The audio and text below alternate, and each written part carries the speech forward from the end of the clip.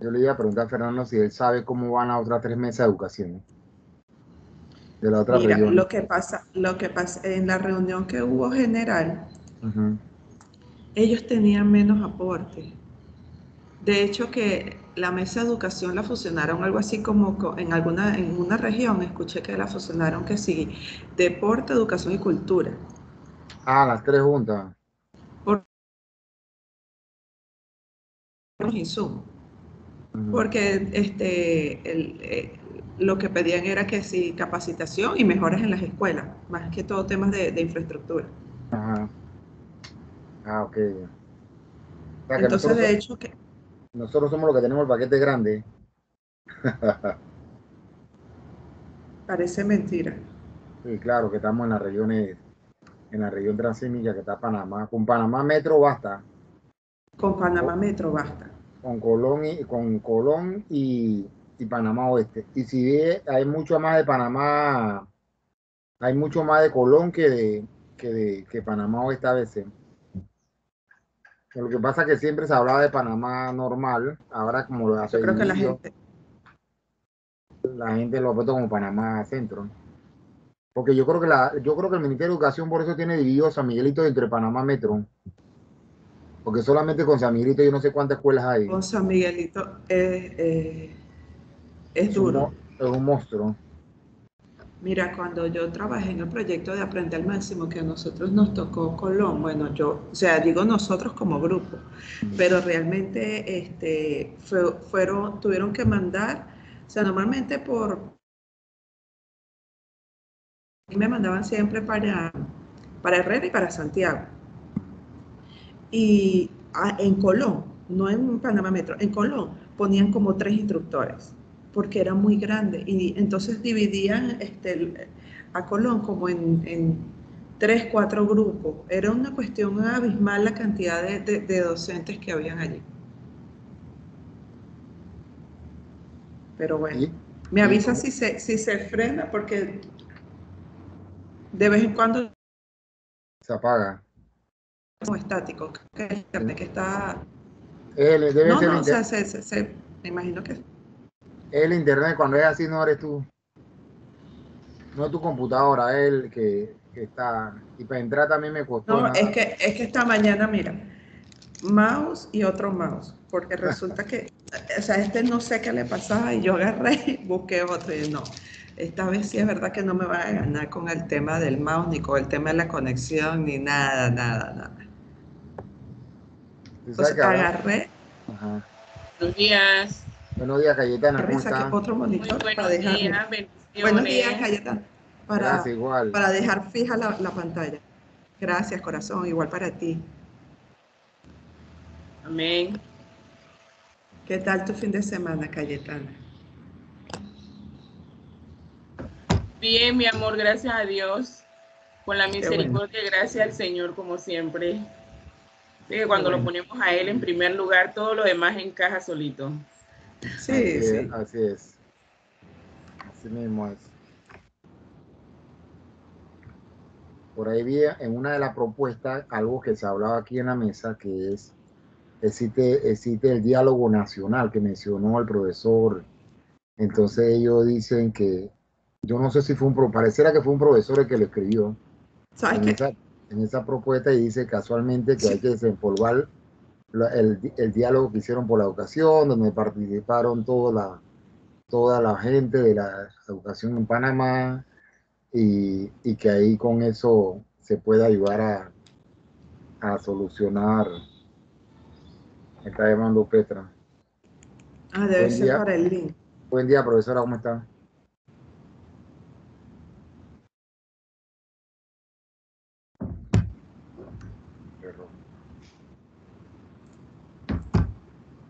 Así que sí dice que parte de lo que decía, el parte de, parte de lo que están pidiendo los ciudadanos y los demás, ya está en la parte del diálogo por la, por la ocasión.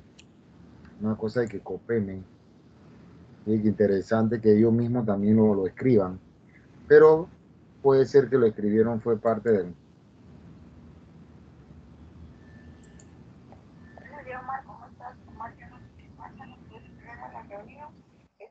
intentando las 10 para las 8 y no puedo entrar a la reunión ni en el celular ni en la máquina, no sé por qué.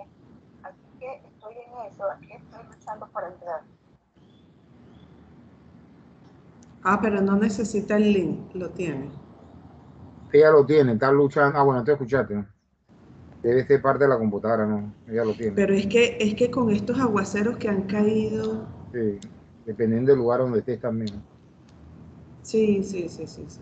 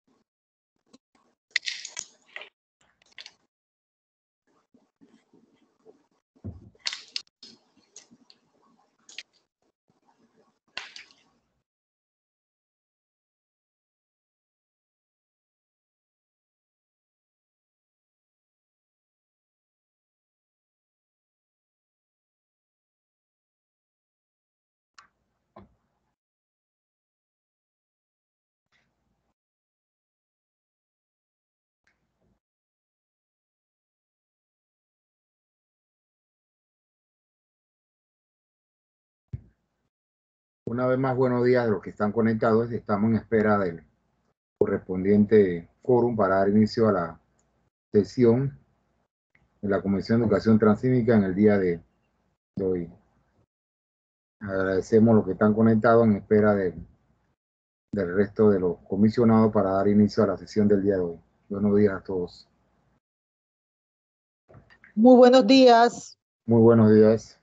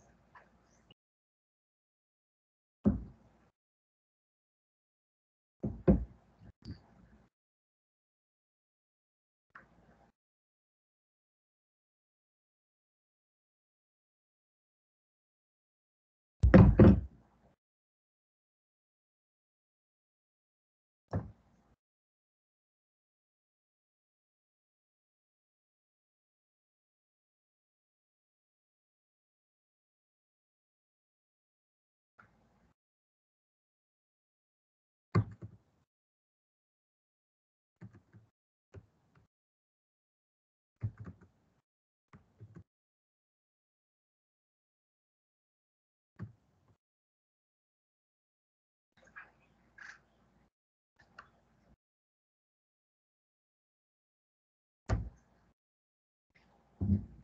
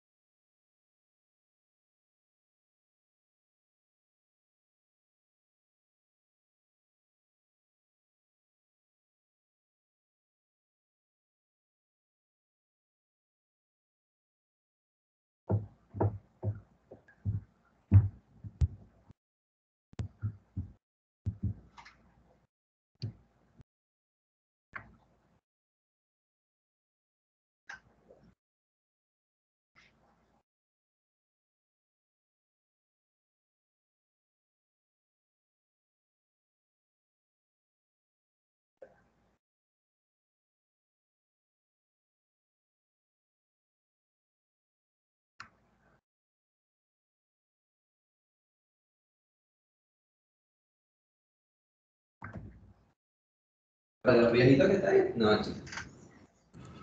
Ya regresé, gracias, gracias, buenos días. Buenos días. Cumpliendo con, con los reglamentos de la mesa, hacemos el segundo llamado para dar inicio a esta sesión en el día de hoy. Nuevamente le damos las bienvenidas. Lo que se acaban de, de integrar. Actualmente tenemos cinco comisionados, aún no completamos el coro correspondiente. Veo que está Nivia Castrellón. Nivia, usted viene como invitada, como comisionada. Discúlpeme, fue, yo soy invitada por parte del COPEME. Recibimos una carta de la eh, coordinadora eh, Paulina Franceschi. Así que estamos aquí en esa condición. Soy la suplente del coordinador general del COPEME, el estudiante Kevin Barbato. Ah, que están los dos aquí. No, no. Eh, estamos, no, eh, no sé si el, eh, si el coordinador se ha incorporado, pero yo estoy presente. Pero está como comisionada, profesora. eso es lo que estimo y aspiro. si quiere, mandamos a buscar la carta. No, no, no, no. ¿En qué condición nos invitaron? De pronto la pedimos a Secretaría. Usted me indica qué debemos hacer. No, no, excelente, bienvenida. No, es, por, por, comisionado porque también tenemos a veces invitados que nada más escuchan las reuniones. Usted va a participar activamente con nosotros. Eh, Dios primero, pero de todas maneras, si quiere, le busco la carta para estar claro, porque no vaya a ser que estoy en otra condición. Entiendo que es como comisionada, como usted comprenderá, el COPEM ha hecho políticas públicas eh, que son eh, validadas por ley, así que me imagino que para eso nos han invitado. Excelente. Casualmente, yo, una de las propuestas que estamos revisando, que se está revisando en la mesa, habla del COPEME, que fue ah, el diálogo nacional de, que se realizó con COPEME. Casualmente dije que había un insumo que alguien mencionaba dentro de la propuesta ciudadana que decía que ya mucho de lo que se está pidiendo ya se había hecho en el diálogo nacional por la educación. Casualmente COPEME. Yo, creo que por eso nos han invitado, justo con, e, por eso para poder alinear eh, esfuerzos y no duplicarlos, ¿no? Y además ahí, desde 1994 ha habido propuestas en educación que curiosamente se repiten los requerimientos y las necesidades. Desde entonces, ah, que tenemos tareas pendientes en ese sentido y sobre todo la ciudadanía, qué bueno que con participación ciudadana se valide de pronto tanta necesidad. Así que muchas gracias por ese comentario, le agradezco.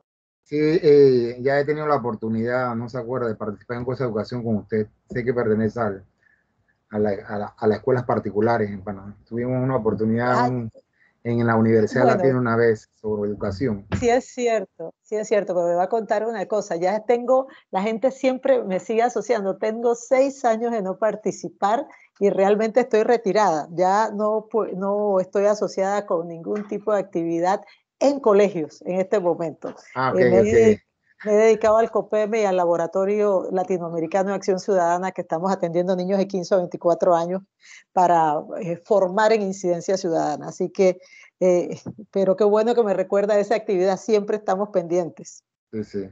Aquí lo que tenemos como un poquito de camisa de fuerza que ha pasado a los comisionados para contar un poquito, que como es desde el ciudadano hacia arriba, eh, cuando se ha, se, estamos, todavía estamos, después le explico brevemente cómo, cómo se está haciendo, eh, como tiene que venir el ciudadano y aportarlo en Ágora, sobre todo en educación, que es una de las mesas que, que más tiene aporte a nivel nacional, y nosotros estamos en el área transísmica, que es Colón, Panamá Metro y Panamá Oeste. Eh, como dice usted, cuando, cuando lees a veces lo que, que son problemas, a veces son frases solamente, eh, lo que son la, parte que tienen el expertise, la experiencia, como acaba de mencionar usted, dicen ya eso está hecho. Eso lo que hay que, lo que usted acaba de mencionar, reforzar. Y parte de lo que, lo que es eh, el diálogo es tomar esos insumos y decir, bueno, parte de la propuesta en esta mesa todavía no, no estamos acercando, perdón, al primer borrador de, de acuerdos, porque puede haber N cantidad de acuerdos en las mesas, eh, es precisamente eso, y parte de la conclusión que se ha llegado en, estos diálogos aquí es que tampoco hay el ciudadano común o la gente de afuera no conoce o no tiene la información, parte de la comunicación.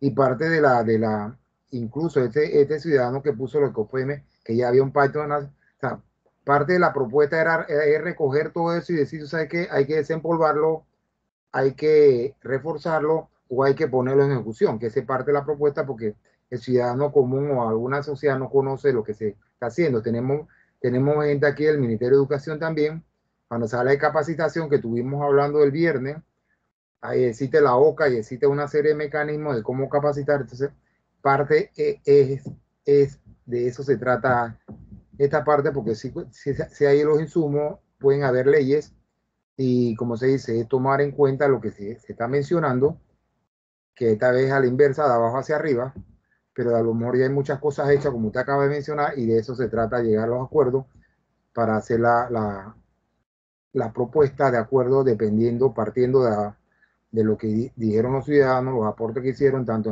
en, los problemas como en la propuesta. Así que este, ese, esto es lo interesante de esto, como dice usted, y si uno tiene a veces el conocimiento de esto y dice, ya eso está hecho, pero realmente el ciudadano no sabe que sí. Ciertamente, yo pienso que las políticas públicas van a ser más sostenibles en la medida que los ciudadanos se sientan parte de ellas y que sea una expectativa y un requerimiento social. Así que más que de acuerdo y solamente comentarles que eh, mientras hacemos tiempo que hagamos quórum, que, eh, que, cuando se crea el COPEME, lo que hace el COPEME es ser instancia eh, asesora del MEDUCA. Entonces, para la implementación de las políticas públicas y se hicieron cinco metas priorizadas que en este momento están en, ejecución, que eso tienen que ver con sistemas de información, con eh, la, eh, la, descentralización del sistema educativo, que muchas de las cosas que estamos viendo que nos preocupan, como que no haya agua en las escuelas, internet, insumos a tiempo y una serie de eh, situaciones, tiene que ver con la administración y gestión de los recursos. Entonces, parte de eso tiene que, hay un plan operativo para que sepa que toca eso, que, que nosotros lo consideramos muy importante. Lo otro tiene que ver con la cualificación docente, pero eh, se ha enfocado en el servicio. Los docentes que hoy están ya en el sistema, porque lo otro que se, nos dimos cuenta es que eh, por año entran aproximadamente 3.000 nuevas vacantes. Entonces tenemos que cualificar a los educadores que ya están dando clases para que puedan enfrentar los retos. La, cuarta tiene que ver con educación física, mental, emocional de los educadores, de los estudiantes de la comunidad educativa en general, con el propósito de asegurar que estén física, mental, emocionalmente listos para un reto como el que vivimos ahora. Curiosamente, eso se escogió antes de la pandemia eh, y va de la mano con bioseguridad. Y la quinta son las trayectorias escolares completas, porque en Panamá tenemos un serio problema. Como usted debe saber muy bien, eh, los más pobres tienen cinco años de educación acumulada versus los más aventajados tienen 14. Entonces la pobreza va de la mano de años de escolaridad acumulados. Así que hay muchas cosas que de pronto les podemos compartir. Excelente, excelente, bienvenida. Por eso lo que, no, lo que, lo que está costando es eh, como no, no, no desarrollar de parte nuestra como expertos, sino es a la inversa de lo que digan ellos, que parte de la, de la, de la dinámica del pacto eh, tomar en cuenta lo que, lo que está diciendo el ciudadano y también lo que, lo que puede ser que estamos viendo aquí que desconocen, ¿no? También la falta de la comunicación que pueda, que pueda haber, porque póngase que una dice necesitamos que capaciten a los docentes. Eh, 20 dicen hay que capacitar a los docentes. Otra cosa que usted menciona, no tiene vocación, no tiene esto, pero como usted está bien, como acaba de decir, ya hay todos unos planes y todo eso. En este, en este caso sería, eh, bueno, esto dentro de lo, de lo que usted acaba de mencionar, el Pacto Nacional por la Educación, tiene estos puntos y lo demás, lo que la propuesta es que se tome en cuenta o se desarrolle. Ese buscando que el, que el individuo común, la sociedad que aportó, pueda decir, bueno, me tomaron en cuenta o ese está ahí, yo lo desconocía. Es a, es a la inversa del, de, los otros, de los otros diálogos. Por eso a veces nos sentimos un poquito, como dice, para serle sincero, enredado, porque cuando vemos algo queremos así mismo desarrollar todo para decir esto ya se puede hacer así, pero no, no, no, no se trata de esto, sino llegar al acuerdo de lo que, en base a lo que están diciendo. Y mucho de eso a veces hemos visto que es, comunicación, que está ahí o no se desarrolla o quedó en el, en el documento y el, ciudadano no lo sabe de, eso. Porque de aquí pasamos los insumos de esta mesa, de la mesa regional pasan a la mesa nacional que se compila todo y se, se revisa para hacer lo que es el, el, la propuesta nacional. Porque estamos divididos en cada mesa por, por, por insumos eh, regionales y nacionales también, lo que han aportado desde la región a la parte nacional. Nosotros aún, nosotros aún estamos por la parte regional. La mesa escogió sistema educativo, porque está dividido en cuatro clústeres la, la, data que tenemos. Eh, tenemos sistema educativo, tenemos eh, tecnología e internet, sobre todo, que menciona. Tenemos infraestructura, que es una de las que más tiene. Y la otra es el estudiante, puesto como estudiante. Así que la mesa ha decidido comenzar a trabajar por la parte del sistema educativo.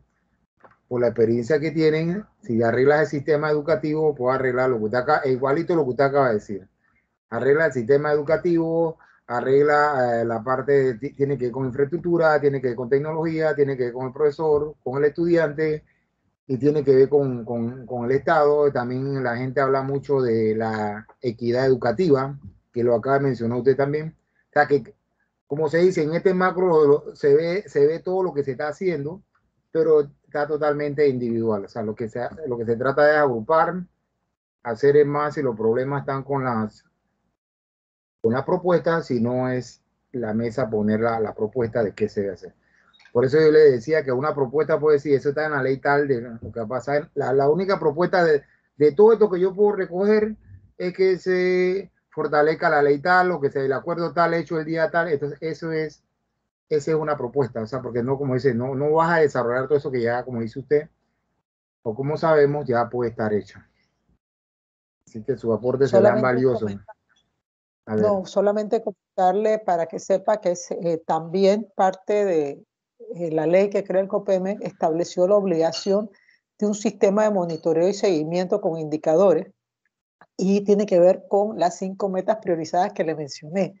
Eso en este momento hay un sistema de monitoreo donde ya se empezó a medir eh, el nivel de implementación por parte del MEDUCA y lo que yo le acabo de comentar ha sido incluido en el plan estratégico del MEDUCA. Eso es bueno que ustedes lo sepan. E inclusive a raíz de la pandemia se hicieron protocolos puntuales para tratar de preservar el derecho a la educación con distanciamiento social. Y lo último que se ha hecho eh, es eh, un, eh, una hoja de ruta para un retorno seguro, voluntario y que preserve el derecho a la vida y a la educación de la comunidad educativa. Así que esto, todo eso está ocurriendo en este momento. pienso que parte de, de, lo que la gente está pidiendo, sin que nosotros lo podamos decir así, cuando alguien te dice yo quiero agua en una escuela, o yo quiero luz, o yo quiero internet, al final no es agua, ni luz, ni internet, sino poder ejercer mi derecho a la educación, porque sin eso no lo puedo hacer. Entonces es un tema que es interesante. Eh, son, estamos hablando de insumos o de eh, posibilitar que, que, se pueda acceder al derecho. Así que yo creo que, va a ser un tema muy importante porque al final vamos a saber dónde hay más necesidades y eso puede guiar al Ministerio de Educación y a los gestores de política pública para implementar lo que sea necesario. Así es, excelente, así mismo es.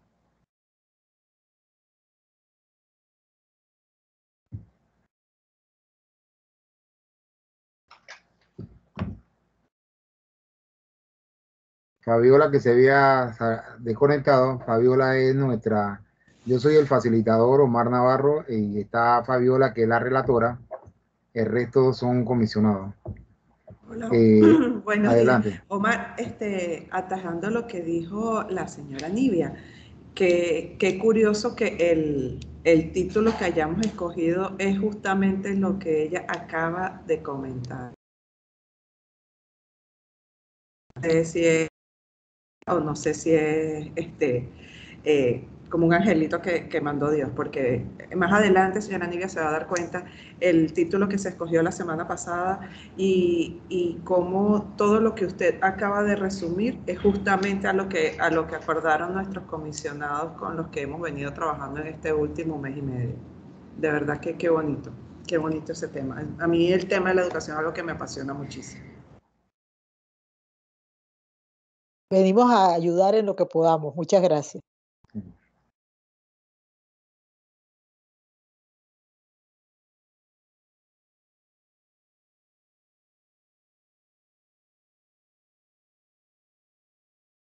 nos escribe, Nivia, nos escribe su correo en el, en el chat para mandarle todos los insumos y todo lo que, la información que tenemos. Ay, sí, muchísimas gracias. Eh, sí, muchísimas gracias. Y, solamente como comentario, nosotros eh, como, como COPEME estamos, eh, tomamos la, una decisión interna, que es bueno que, decirles, de utilizar todos los insumos que tengamos sobre el diálogo bicentenario, es decir, la opinión ciudadana, para cerciorarnos que en efecto en las políticas públicas está incluido todo aquello que en este momento es una expectativa y un requerimiento social. Así que, eh, lo, que eh, lo que se ha logrado con el diálogo al final, eh, eh, perdón, el diálogo no, con, bueno, es un diálogo con cerrando al final del día eh, va a ser un insumo, porque lo pensamos que es supremamente importante ver cómo percibe el ciudadano, porque a veces cuando uno está en un área de gestión, realmente desconoce lo que ocurre en el sitio, en el epicentro de la acción educativa que es la escuela. Así que yo creo que esto eh, para nosotros es sumamente valioso como país. Sentimos que puede ayudar muchísimo.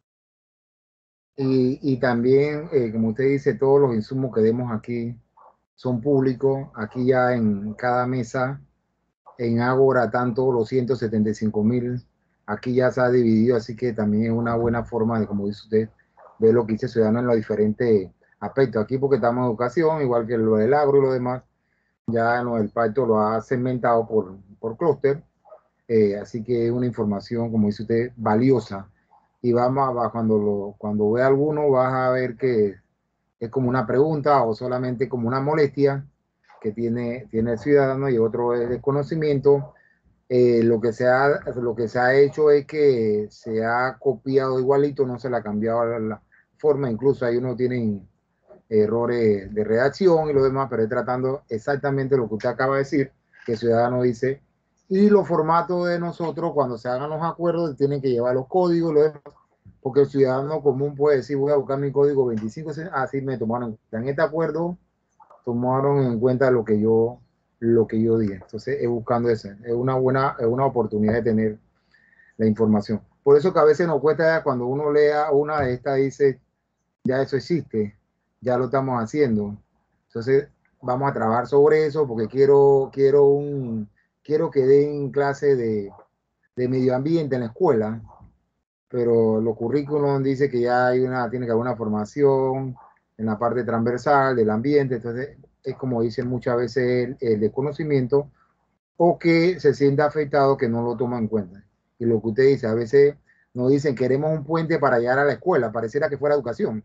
Es que yo no puedo estudiar porque no puedo, no puedo pasar porque no hay un puente para llegar al colegio. esa parte no es realmente meramente escuela, sino llevan otras, otros ingredientes o otros temas que afectan lo que es la escuela o queremos que el INADE tenga sucursal en todo Panamá. Entonces, eso es otro tipo de, formación, ¿no? Que educación, que pareciera que tuvieran educación.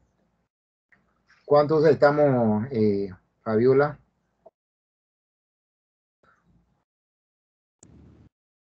Bienvenida, Petra. Bienvenida, ¿cómo estás, la profesora Petra? Eh, tenemos seis comisionados. Bueno, tenemos, si, el promedio era 15 y tenemos 6, faltaría un comisionado, pero yo creo que por el respeto que todos tenemos aquí, el tiempo de cada uno de nosotros, podemos continuar. Es, es breve porque hoy sí eh, vamos a tratar de tener uno de los primeros preacuerdos borradores con el tema que ya hemos escogido eh, ha escogido la mesa para comenzar a, desarrollar el, uno de los preacuerdos de esta, de esta mesa. Como todas las cosas, siempre le hemos traído un pensamiento, nuestra mayor debilidad radica en renunciar. La forma más segura de tener éxito es siempre intentarlo una vez más. Tomás Edison. Como hemos dicho aquí, a veces nos sentimos enredados, tenemos, sentimos que tenemos mucha información, muchas cosas que hacer, todos estamos ocupados, pero tenemos un gran, un gran compromiso como personas, como profesionales y como parte de la sociedad, hacer nuestro aporte en este, en este pacto. Eh, cada uno está sacando su tiempo y lo estamos invirtiendo para tener buenos resultados a futuro. Así que pueden haber mucho, muchas información que queremos condensar rápidamente o decir que no tenemos parte del tiempo, pero creo que al final, eh, si lo intentamos, lo, vamos a lograr. Así que bienvenido todo en esta mañana. Hoy sí no está nublada, hoy sí un día soleado. La bienvenida que ya la hemos presentado. Vamos a hacer un pequeño resumen de la sesión anterior. Eh, vamos a hacer la presentación del título del preacuerdo que iniciamos el viernes. Vamos a hacer la discusión plenaria del preacuerdo, eh, tratando de darle ya el formato que nos, exige el pacto, para ver si tenemos un primer borrador hoy, para presentarlo a la sesión del, viernes, para que sea eh, consensuado y se haga la votación del preacuerdo. Por eso que tenemos el planteamiento de un borrador aquí antes de irnos esta mañana, en esta jornada, tener un borrador para que ustedes lo conozcan y luego posteriormente enviárselo. Lo que propongan los comisionados, las preguntas y respuestas y el cierre de, de sesión. Como comentamos, como, como comenzamos el viernes, eh, ya las sesiones son plenarias, no está dividida en dos grupos ni, ni equipos. Eh, también se tomó la decisión se presentaron los resultados de la propuesta del sistema educativo regional, que eran 56. Eh, la hemos filtrado eh, con la información que me mandó el grupo B. Cualquier pregunta, profesora Nidia, que, que necesiten lo que estoy conversando, creo que por ahí también está otro comisionado que no lo haya visto en la lista, Fabiola. Pueden, pueden, pueden pedir aclaración, o si voy muy rápido también. Eh, un recuento se dividió, se dividieron los comisionados en cuatro, en tres equipos para partir los insumos del clúster de sistema educativo, tanto la problema como la propuesta, y para hacer el filtro y sacar la información más condensada. Ya la parte de resultados, que eran 56 propuestas de los ciudadanos, ya fue terminada y realizada por un grupo, por el grupo B. De eso sacaron ciertas, ciertos factores clave, como fue eh, se hablaron, el 18% hablaba de capacitación docente, el, 38% hablaba de calidad educativa, también dentro de la propuesta habían, pedían redes tutoriales, pedían currículum, un mejor currículum docente, educación ambiental, parte de equidad educativa, la otra también salía como alianza empresarial y la infraestructura porque lo que peso específico lo tenía la capacidad docente y la parte de calidad educativa. Eh, la dinámica es que se presenta el título luego que se filtró la información y se dividió en equipos. En la primera información en la parte regional, eh, el viernes se llegó a un título que más adelante se lo, se lo presento. Y sobre ese título se va a trabajar en la mañana de hoy para eh, empezar a hacer el preacuerdo. Los comisionados solicitaron la participación activa del resto de los comisionados en las sesiones para poder tomar decisiones en los consensos de la propuesta, eh, para que tenga una mejor eh, complementación de que participen todos los presentes, no solamente varios. Igualmente se nos pidió que habláramos con la comisión regional eh, para eh, lograr las asistencias de todos los comisionados que forman parte de la mesa. Hemos tenido un promedio de 15 comisionados, eh, por lo que ahí hemos sacado el promedio. La lista decía 38. Eh, por X motivos unos han podido participar, unos sí, otros no. así que el promedio de esta mesa es un promedio de 15. Así que la, la mayoría sería 8 comisionados para tomar en el momento de decisiones, eh, haciendo la salvedad que solamente el momento de llegar al acuerdo de mesa eh, participan el voto de los comisionados eh, titulares, pero pueden participar en todas las reuniones los comisionados titulares y los suplentes. Se revisó nuevamente el cronograma con la observación que la mesa está en un atraso en este tema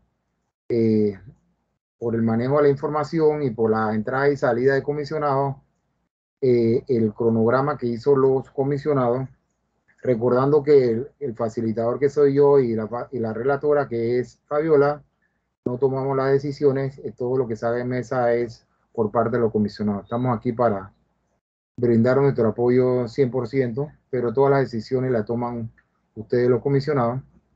Así que se revisó el viernes el cronograma Estamos todavía en atraso porque tenemos hasta el 30 de agosto para concluir los diferentes acuerdos que se lleguen en mesa. Aclarando que puede haber N cantidad de acuerdos en las mesas, no hay un número específico de acuerdos, va a depender de la, la dinámica que tenga la, la, mesa. Se acordó y elaborando los preacuerdos con la data revisada en los diferentes clústeres regionales y nacionales. Como son grandes volúmenes, eh, ha costado mucho que 2.300 se revisen entonces, lo que se ha acordado es que a medida que se vaya revisando, se pueden ir eh, presentando títulos de acuerdo o haciendo borradores de, de, de acuerdo, dependiendo del clúster. Este fue el título de acuerdo propuesto para la mesa el día viernes que se llevó a consenso. Es la medición del alcance del proceso en actualización permanente del docente. Esto en base a lo que ha aportado los, los ciudadanos, tanto en la parte de problemas como en la parte de propuestas. Ya le yo revisé la, la propuesta del grupo que lo hizo y ahí habían De las 56 propuestas, habían 10 que hablaban de la capacitación y la evaluación docente. Entonces, eh, tiene un 18, como le dije, 18% de la propuesta. Y un grupo bien considerable en la, en la problema también habla de la capacitación docente y, también habla mucho de la evaluación docente. Así que sobre esto vamos a trabajar en el día de hoy. Fabiola ahora nos va a explicar qué es lo que necesitamos. Eh, ya los códigos de los problemas, Petra ya yo lo, yo lo filtré porque en, la, en, la, en el acuerdo tenemos que poner los números de código de ahora, así que yo, yo lo, hice un, un cuadro ahí, ya lo tenemos por ahí. Así que esa parte de, la, de las propuestas, si ya tenemos la división de los códigos, tendríamos que agregar los códigos eh, Cayetana, agregar los códigos de, de los problemas que hablen de evaluación y capacitación docente.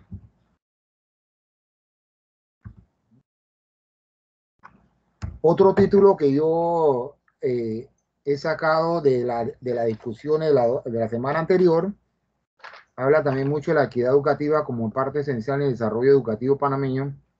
No necesariamente tiene que ser ese título, ese título lo, lo puse yo revisando toda la, todo lo que hemos estado eh, viendo los insumos y lo que, lo que se ha planteado en mesa. Y la otra también hablaba mucho de lo que creo que salieron en varias partes, en Colón, en Panamá Metro, sobre la sobre la estrategia de alianza escuelas-empresa, que creo que ya, ya dijimos que eso existía, el panorama. Ya le dije, que no prende la cámara no va, no va a salir en foto y no va a salir en la televisión ni nada de eso, así que eh, tienen que prender. Cayetana se, se ríe siempre y la profesora Petra porque son de la primera plana.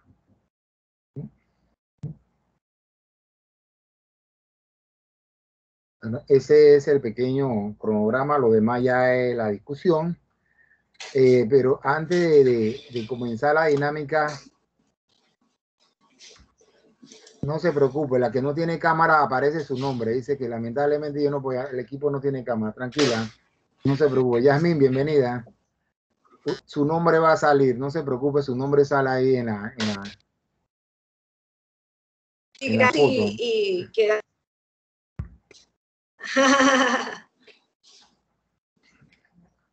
Muy bien, entonces eh, vamos a quedarnos con esta.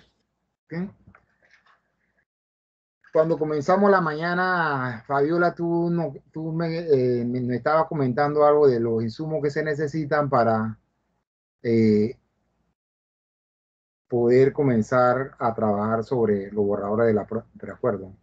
Aparte de los insumos que ya estaban dados el día viernes. Eh, sí, antes de, iniciar eh, me gustaría conocer al, tenemos un comisionado de nombre Kevin Barbato. Eh, pertenece a la mesa de educación. el comisionado Barbato es el coordinador general del COPEME. Muy, buenos días. Perfecto. Buenos días. Les envío un cordial saludo. Kevin Barbato, coordinador general del COPEME. Para mí es un gusto estar aquí con ustedes como estudiante y pertenecer a este gran eh, espacio y escenario que es el Pacto del Bicentenario Histórico para todos nosotros y más como estudiantes. Un cordial saludo a todos. Gracias por acompañarnos el día de hoy. Excelente, bienvenido. Ok, eh, en atención a lo, a, lo, que estábamos, que yo le planteaba a Omar en la mañana de hoy, antes de iniciar la sesión, este, en, la primera, en la primera sesión que tuvimos, eh, que se nombraron los, los la, que se mencionó la guía metodológica de cómo eh, llegar al, a un consenso para previamente haber formulado un acuerdo, ¿verdad? Decía que la, para, para mm, llegar al, acuerdo propiamente que se, pretende, ¿verdad? Eh, hay que tener tres productos y todavía eh, no hemos llegado a ese, a ese paso. El primer producto es este, los problemas priorizados. Ya, ya estamos clasificando, estamos en proceso de análisis y clasificación de, la, de las propuestas y de los problemas en el clúster de sistemas. ¿Ok? La, la señora Cayetana las, el viernes nos pasó, el viernes o sábado nos pasó el, el, los adelantos que ellos han tenido, ¿verdad? En cuanto a, al trabajo que, se, que prácticamente eh, realizaron ellos al, en un gran porcentaje. Eh, el segundo producto vendrían siendo los problemas priorizados de la y los problemas priorizados de la región o de, en este caso, estamos trabajando a nivel regional, todavía no a nivel nacional, ¿verdad? Y las propuestas de solución, ¿verdad? Y el tercer producto que, que vamos a, que debemos tener para llegar al consenso son los problemas eh, nacionales con, su, con sus propuestas, ¿verdad? Eh, desde la perspectiva ya regional. Ok, ya estamos ahorita en el proceso de análisis del clúster de sistema. Tendríamos que aterrizar la información que ya tenemos de, forma tal de enumerar las respuestas que se a, eso, a, a esas situaciones o a esos problemas que planteó el ciudadano. Es importante también resaltar que parte de, de las propuestas que identificó el grupo B cubre una mayoría o, una, gran porción de los problemas, pero que todavía hay problemas que quedan sueltos, de acuerdo al, cuadro que pasó la señora Cayetana. No sé si, si es así, Omar me, me, confirma. Correcto, ellos eh, tenían parte del 50% del, resumen de de, la, de los problemas que son dos mil y pico que ha presentado el ciudadano.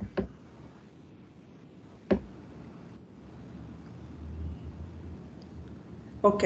Eh, el día de hoy sería un día más que todo para, mm, no sé si ya la, el, el, equipo de la, de la profesora Cayetana con, con el resto de los comisionados lograron eh, terminar de, filtrar la información para entonces seguir, eh, de acuerdo al, procedimiento, seguir, este, ya poder, pues, como quien dice, hacer el primer preacuerdo. Sí, habíamos acordado, ya ellos lo, ya ellos lo terminaron, los 56 que le tocó la profesora Cayetana, que fue donde yo saqué la información del porcentaje.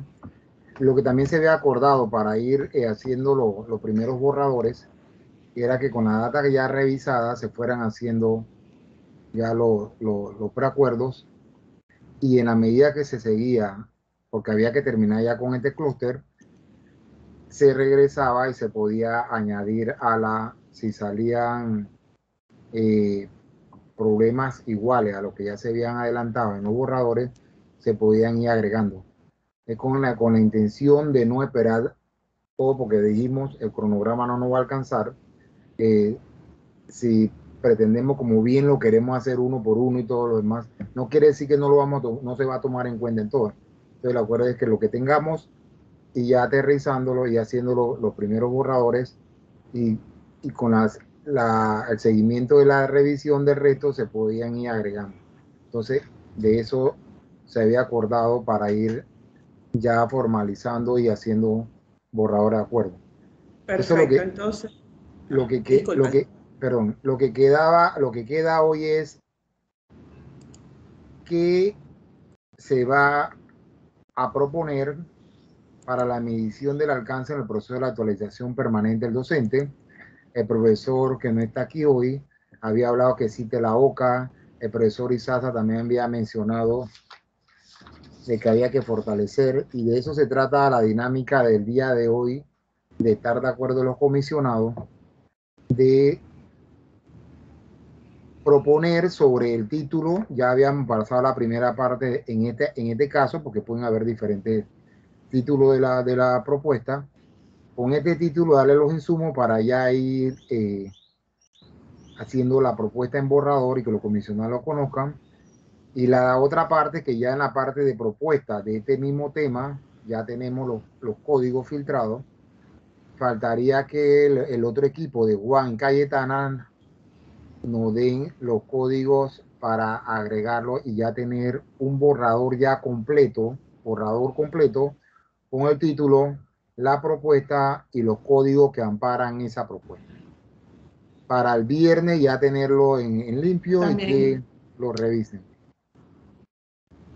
Es importante también mencionar, Omar, que este, debemos recabar las recomendaciones, perdón, las recomendaciones de los, de los comisionados, ¿verdad? En atención a los problemas que ellos lograron identificar. Para, eh, lo que pasa es que se escuchan, me escucho con retorno y los escucho a ustedes, te escucho a ti como repetido también.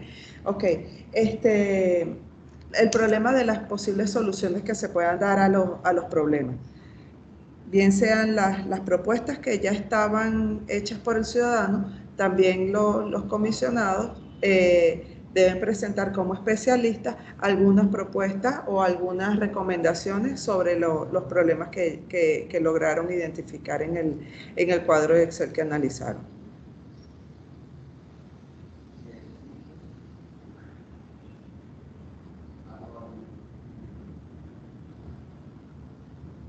Efectivamente, eso es lo que se...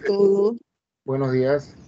Hola, buenos días. Omar, no sé por qué no me puedo conectar por la computadora. He tenido que conectarme por el celular. Me quedo esperando que me dé eh, acceso y se queda ahí. No, y tuve que venir y conectarme por el, por el celular. Y se me hace más complicado.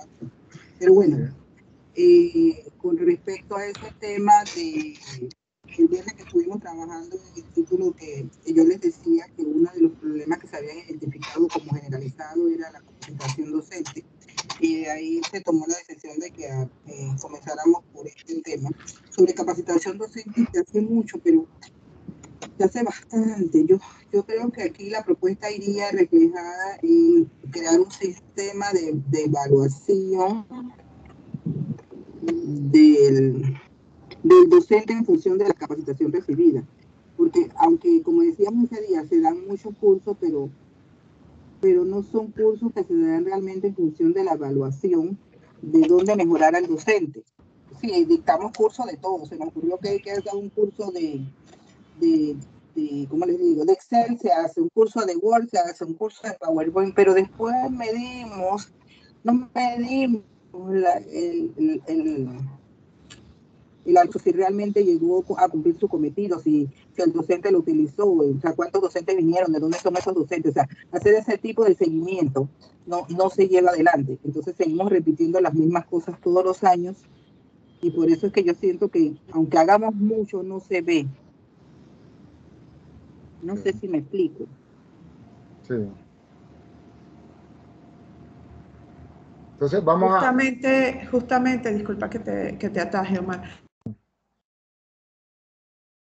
Malina, eh, tenemos a la, profesora eh, Nivia Castrellón, que nos acompaña de COPEME, y ella nos estaba indicando eh, sobre mm, unas propuestas que ellos tienen, en las que están trabajando como organismo para dar seguimiento a las evaluaciones de, de, los, de los docentes, tal como lo habíamos comentado la semana pasada, que sería uno de, de los títulos propuestos para, para el, el, acuerdo o para el consenso de esta semana. Eh, no sé si, si de repente eh, Omar le, le, puede mencionar un poquito a, a, la profesora Marlina para ponerla en, contexto sobre lo, lo, que ya conversamos con la profesora eh, Nivia. Ok, Bueno, yo creo que para, para, repetirlo yo, aquí está la profesora Nive y nos puede poner ahora con el abuso de ella, de que nos ponga en contexto de lo que estábamos mencionando. Ajá, discúlpame, no, escucho bien. Que, no nos preocupemos, yo. ¿Qué necesita? Yo, estoy para... Sí, hablando de esto, profesora, lo que nos comentaba en la mañana ah. cuando recién de que ya continuar sobre la sobre esto y de la, parte que existe. Eso nos puede, eh, puede ayudar a la mesa a tener también los insumos.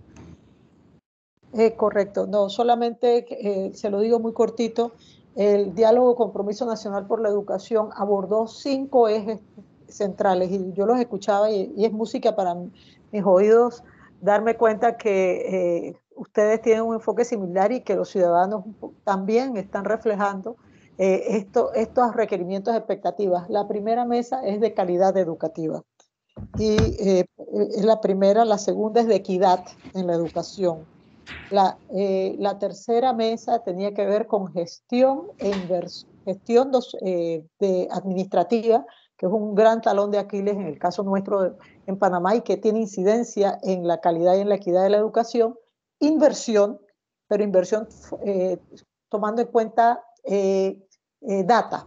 El problema no es que no, no es qué invertimos, sino cómo lo hacemos y si estamos enfocando en lo que más requieren. Y por último, tiene que ver con la formación docente. Eh, en el diálogo se habla desde la formación inicial del educador a la formación continua, incluso se habla de la carrera docente. Todo eso está en el diálogo, pero hay cinco metas priorizadas, de esas, porque hubo 37 políticas públicas y 241 líneas de acción. Entonces se priorizaron cinco metas esas cinco metas se supone que deben ser ejecutadas de, 2019 a 2022. Y la primera tiene que ver con eh, sistemas de información para toma de decisiones enfocadas en políticas públicas y que llegue el recurso al que más lo necesita para tener impacto. La segunda tiene que ver con gestión descentralizada del sistema educativo, que también tiene que ver cuando ustedes nos hablan del, del tema de falta de agua, falta de insumos, eh, profesores no nombrados a tiempo, escuelas que están en deplorables condiciones, eso es gestión. Entonces, esta parte de centralización es muy importante. La tercera tiene que ver con la cualificación docente, que ya ustedes lo han mencionado, que hay un, un requerimiento de formación del educador. Eso también se aborda en las metas priorizadas, pero esto es en el servicio, porque ya nos dimos cuenta que hay 3.000 vacantes por año aproximadamente que salen entonces, tenemos que mejorar eh, la, capacidad de interlocución del educador que hoy está en el sistema, convirtiéndolo en un líder pedagógico. Entonces, eso es importante. La cuarta tiene que ver eh, con la salud física, mental y emocional de todos los miembros de la comunidad educativa. Y eso se sacó antes de la pandemia. ¿Y por qué lo hicimos? Porque sentimos que eh, no nos damos cuenta que si una persona no está bien integralmente, muy difícilmente puede funcionar correctamente en el sistema. Y la quinta, que es un resultado, son las trayectorias escolares completas. Porque en Panamá tenemos un serio problema, la escolaridad promedio del panameño es 9.5, pero los más pobres tienen 5 años de escolaridad acumulada versus los que tienen más eh, ventajas que tienen 14. Así que, pero eh, lo que han, han mencionado hasta ahora, todo está en los acuerdos del Compromiso Nacional por la Educación. Eh, eso era lo que quería un poco resumir, para que sepan hasta el perfil del docente y el perfil de egreso del docente también existe. Entonces yo creo que, gracias, profe, disculpa Omar que te, que te atajé, yo creo que podemos iniciar por allí para ir formulando parte de, la, de, las, de los problemas que tenemos, eh, le podemos dar respuesta a través de, de los acuerdos de, de, COPEME. O te cedo la palabra, Omar, porque creo que te la, te la quité. No, no, no, no, era que ya. Yo siempre digo que no voy a hablar mucho porque le toca a los comisionados, pero ellos me dejan hablar. Eh, sí, yo creo que eh, la dinámica puede ser exactamente lo que, recogiendo toda la información que tenemos, yo creo que debe comenzar Fabiola, eh, poniendo lo que acaba de decir la profesora eh, Marlina. Nivia. ah, no, perdón. Nivia, Nivia fue la que nos dio el resumen, la profesora creo que para ir, para ir tomando la, información, que era crear un sistema educativo, y ahora sí comienza la, la reunión plenaria con, con, parte de los insumos, porque tenemos lo que bien dice, eh, lo que acaba de decir la profesora Nivia, todo lo que están aquí hemos dicho siempre, ya todo eso está recogido, ya todo eso está, pero entonces falta algo para la propuesta. Mira cómo se ríe, porque todos sabemos eso está hecho, eso está en, la, en los planes educativos y lo más, pero también hemos concluido que es parte de la comunicación. Pero para la propuesta, ¿cómo lo hacemos? Así que ya ahora comienza eh, los aportes de cada uno de los comisionados para ir formalizando, para ir sacándole provecho ya y tener, acuérdense que le iba a pagar el café cuando tengamos el primer, el primer acuerdo en, en Ágora. Así que adelante, señores comisionados, con estos insumos. Ya tenemos los insumos leídos, filtrados, hace falta terminar. Vamos ahora a hacer las mociones para presentar la propuesta. Ya estaban de acuerdo con el título, que puede ir en diferentes formas. Como dice, ¿qué propone la mesa, los comisionados para la medición del alcance del proceso de toleración? Eh, la profesora Marlina, se me escapa el nombre, perdón, ha dicho vamos a crear un sistema de evaluación, ahora ya lo puede repetir y cada uno va aportando y lo vamos, la otra puede decir, ya eso está en el, lo que acaba de decir la profesora Nivia, ya eso está en el pacto, el viernes el profesor habló que eso también está en la OCA, hay que reforzarlo, o sea, lo que queremos darle la forma, existen por varios lados cosas que ya hablan de la capacitación docente, en la parte del Ministerio de Educación nos dijeron que hay un, una, un área especial, el profesor Isaza, que no está aquí hoy, nos habló de reforzar la OCA con métrica y metodología de evaluación de la, del aprovechamiento de la actualización docente. Entonces ya eso es como el mix que tenemos. Así que adelante, señores comisionados, la palabra es de ustedes para... Lo dejo ahí, si lo podemos ir escribiendo, lo vamos escribiendo para ya ir teniendo es el, el borrador de la propuesta. Adelante, señores comisionados.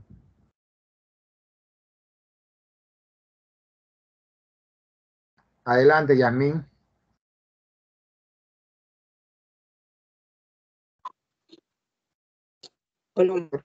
Tiene el micrófono. Perdón, Marlina, eh, vamos con Yasmín, que tiene la mano arriba. Sí, sí. Prende el micrófono, Yasmín.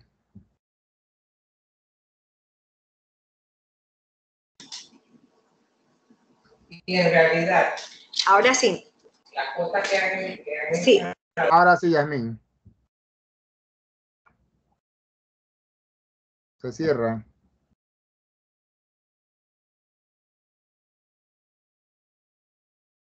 Adelante, Yasmin. Prende el, el audio.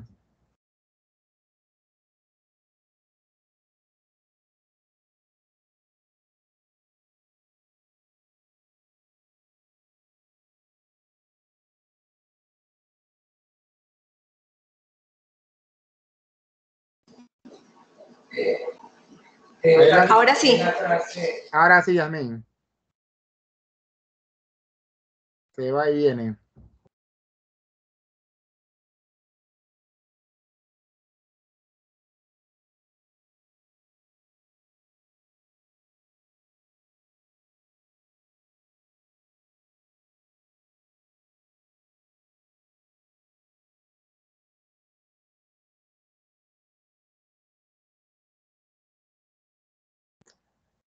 Mientras Yasmin arregla su micrófono, adelante Marlina. Gracias, Omar. Sí, yo sé que lo que dice la profesora Castellón es está COPEME, yo conozco el lineamiento de COPEME, todo el éxito. En su momento encontré alguna que otra reunión la mesa, pero no pude hacer trabajo para todas. Creo que es importante aquí eh, hay que evaluar, hay que evaluar ¿Cómo lo vamos a hacer? ¿A través de qué medio? No lo sé. Hablamos de capacitación docente. Discúlpeme, oigo, oigo muy cortado, ¿o soy yo? Todos escuchamos cortado, profesora Marlina. Se escucha entrecortado. Se escucha, se escucha con mucha interferencia, Marlina. ¿Ah? No puedo hacer mucho por el tema de que está lejos del alcance de mis manos el tema de la conectividad. Ahora sí se escucha más claro. Bueno, lo, lo, importante aquí, como les decía, que yo sé que pues eh, todo lo que, lo que indicamos aquí realmente y lo que, lo que se acontece con la sociedad que nos ha escrito a través de, de Ágora está, está ya escrito en, en, los temas del pacto del, del COPEME, del pacto de, de la educación, pero realmente tenemos que poner en marcha todo ese elemento y para ello debemos desde aquí hacer una propuesta que empuje al Estado, al gobierno, quien administre, realmente establecer las metodologías de evaluación de todas esas capas, de toda esa capacitación que se le da a los docentes. Porque como decía desde el inicio, pues si capacitamos, si hacemos, hacemos, pero no se ve, y no se ve precisamente porque no logramos, por más que hagamos, si al final no medimos el impacto de lo que hacemos, nunca vamos a ver los resultados de lo que realmente estamos haciendo y dónde debemos mejorar. E, esa es mi propuesta, ¿no? Eh, una propuesta que indique que eh, desde aquí enviemos una información a quienes dirigen el Estado para que se ponga en función y, y se apresuren estos pasos. Muy bien, Marlina. Vamos a hacer algo eh, para complementar. Eh, lo que dijiste al inicio como parte de la propuesta, nos lo, escribe en el chat. Y así lo estamos teniendo porque escuchamos bien. Sí, eh, correctamente es eso. Porque, si, porque no podemos hacer una propuesta si ya todo eso está hecho, sino cómo, cómo se propone, cómo, cómo se hace para que en el pacto y en la parte de, educación se pueda se puede aterrizar y poner en marcha. Muy bien. Yo no sé si Marlina quiere escribirnos, como no se escucha muy bien. Escribe, creo que había hablado de crear un sistema de esto, crearlo para que tener parte de complemento de la, de la propuesta. Gracias, Marlina. a ver, a ver, Marlina, perdón.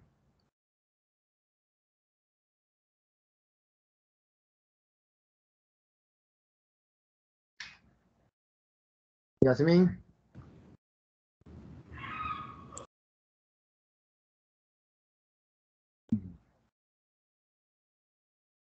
Ah, Yasmin lo escribió porque no pueden. Yasmin nos dice que en este proceso debemos incluir la palabra clave a mi criterio, que la supervisión constante, ya que observando este proceso de cerca se puede corregir o, redirigir lo que esté débil. Eso es la parte del aporte de, de Yasmin. O sea, incluir en el proceso la palabra es la supervisión constante en la parte de la, de la capacitación y actualización y, lleva, y observando el proceso de cerca puede corregir o redirigir lo que se está débil. Lo que dijimos y, discutimos por, por muchos minutos el viernes es la, el, el, retorno, el, la implementación, como dice, se, se manda mucho capacitación pero no se ve la acción o el resultado de esa capacitación y sobre todo el seguimiento. Yo intenté alzar la, alzar la mano, ¿se ve?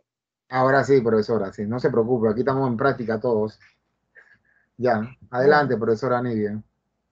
Sí, eh, eh, yo creo que quizás habría que decir muy claramente eh, que deben, deben procurarse los recursos necesarios. Eso significa humanos, financieros, administrativos, los recursos necesarios para procurar, y ahí eh, lo que decía, un, un, proceso, un proceso efectivo de actualización permanente del educador, coma, que incluya la implementación efectiva de lo de, las metodologías o de las estrategias aprendidas en el aula de clase. Y, y, esa última parte, creo que, o sea, hay dos cosas que hay que incluir. Un poco los recursos, por un lado. Dos, eh, la calidad de la propia formación continua. Y tres, la implementación en aula. Porque uno de los graves problemas es que capacitamos pero no se implementa. Que lo han dicho lo que acaba de decir Yasmín, correcto, exactamente, no se implementa y no hay acción sobre lo que se está capacitando. Y, se pudiera añadir porque existe. Lo que pasa es que eh, yo, sí, yo sí quisiera dar un consejo, que se indique que se indique conforme políticas públicas que han sido consensuadas. O sea, eso ya existe. Hay que decirle que la gente está pidiendo lo mismo que ya se ha dicho que es el problema y que por favor se haga. Porque parte de, de la situación es que se implementa de manera masiva. Lo que sabemos de capacitación de educadores es que se hacen cosas muy masivas y al final del día eh, se hace como un, como un requisito de puntos y eso no es la idea. La idea es que eso sea un insumo para mejorar el liderazgo pedagógico del educador. Y exactamente lo que usted acaba de decir, con el perdón de la mesa, es lo que se pone al final de la redacción de la propuesta, que se implemente, que se haga, que se busque la ley tal, que, está ahí, pero que, como dice usted, después de que digo cuál es la propuesta, que simplemente y que, y que si hay las herramientas y la herramienta, y en esa medida también hago la cosa y parte de la propuesta es que se tengan los recursos. Puede ser N cantidad de recursos, pero los recursos necesarios, porque si no todo suena bien bonito, pero sin recursos no se va a poder hacer. Muy bien, muchas gracias. Y la, implementación en agua. y eso es lo más importante, que lo demás, si no somos cultos y todos estamos muy capacitados y los niños no aprenden nada nuevo. La idea es que eso incida en las oportunidades de aprendizaje y, e insistir en algo. Y, ahí, perdón, solamente decirles, insistir en el tema de que hay acuerdos nacionales. ¿Por qué? Porque al igual que este acuerdo, si nosotros no insistimos en que tienen que ser tomados en cuenta, en tres años, si viene otro gobierno, después va a decir, vamos con otro diálogo y esa no es la idea. La idea es que no repetamos el ejercicio, sino que implementemos. Así es. Como se dice, hay muchas cosas hechas y si tendríamos que concluir a decir es desempolvarlo, apliquen la ley o implementenlo. Implementenlo y den los recursos porque ya existe. De acuerdo. Muy bien. Señores comisionados, la palabra es suya.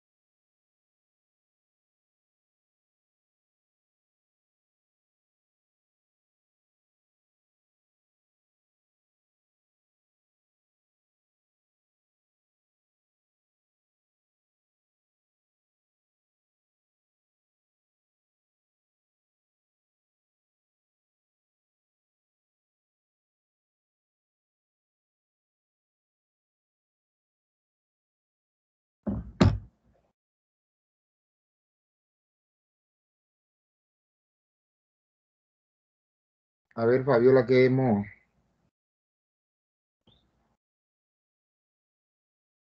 que hemos copiado para darle forma al, a la propuesta? Sí, eh, tenemos hasta el momento la propuesta de, la profesora Marlina de crear un, sistema de, evaluación, eh, establecer las metodologías que muestren los avances para medir eh, el rendimiento de, de, la formación y la capacitación. Tenemos el aporte también de, de Yasmín, que dice que se debe incluir en el proceso de capacitación la supervisión constante. De esta forma podemos corregir o redirigir el, la, la, la, puesta en marcha, por así decirlo, de, de la formación y la capacitación y el aporte de la profesora Nivia, en la que indica que se deben procurar de los recursos necesarios, bien sean humanos, materiales o tecnológicos, eh, una manera para también medir la calidad de la formación continua y revisar las estrategias, las, estrategias aprendidas y de esta forma poder garantizar la implementación en las aulas de clase, ¿verdad? Y también este, revisar pues los acuerdos que están previamente ya elaborados en la materia, que, pueden dar como, que se pueden tomar pues como normativas previas y que pueden servir para, dar, para darle respuesta también a, a los problemas que están acá. Estaba revisando en el chat el, este, eh, el aporte del profesor Isaza de la semana pasada, que él mencionó, nosotros copiamos eh, a grosso modo lo de la, OCA, pero él mencionó, lo estaba buscando un poquito más atrás,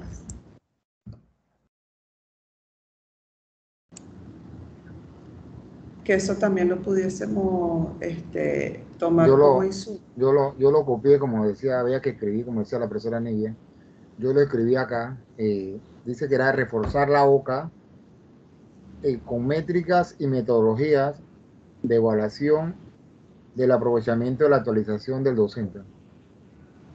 Uh. ¿Puedo, ¿Puedo pedir la palabra? Todo, todo, todo pueden pedir la palabra. Claro que sí. Adelante. Es muy importante que ustedes sepan que una de las cosas que nosotros, que se propuso y se acordó en el COPEM, y, y de pronto les mando los materiales, eh, en el compromiso, perdón, fue hacer un instituto público de cualificación docente. Eso implicaría algo mucho más ambicioso que una OCA. Porque, la, porque parte del tema es que eh, el educador debe tener un sitio de convergencia donde estén los recursos, donde pueda recibir capacitaciones en línea, semipresenciales, donde pueda tener mentores. Entonces no es solamente una OCA, debe ser algo mucho más ambicioso, eh, porque la OCA puntualmente la contratan, pero un instituto, Panamá no tiene un instituto de formación continua, formación permanente del educador, y nos está haciendo falta.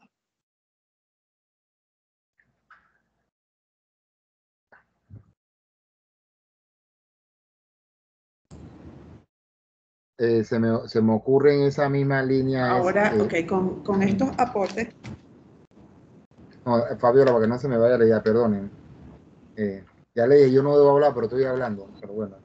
Eh, parte de, la, de la propuesta es el reportamiento de la boca y seguido de eso, lo que acaba de decir, lo que ya está en este acuerdo, es propiciar o implementar lo que dice el instituto, que dice la profesora Nidia. Entonces, como dos partes primero vamos a reforzar esto y para lograr, como, como estamos hablando de una propuesta que no es por gobierno, sino es por país a largo plazo, entonces que se implemente lo que ya está en ese acuerdo, de crear un, instituto también, como parte del, del complemento de lo que se está proponiendo en, en la mesa. A ver, eh, Fabiola. Sí, claro, ahora solo nos falta eh, bajar esto aterrizarlo para darle eh, em, respuesta al ciudadano. ¿Cómo consideran los, los, comisionados que el ciudadano que está, que hizo su aporte en, en el sistema Ágora, qué respuesta desde su punto de vista de especialista, cómo ustedes se lo plantearían al, al, al ciudadano a través de, de esto? Porque estas son ideas que se pueden ver a futuro, pero el ciudadano necesita una respuesta como que más pronta, más inmediata sobre lo que él está pidiendo desde su punto de vista en cuanto a sistema, este, a sistemas educativos.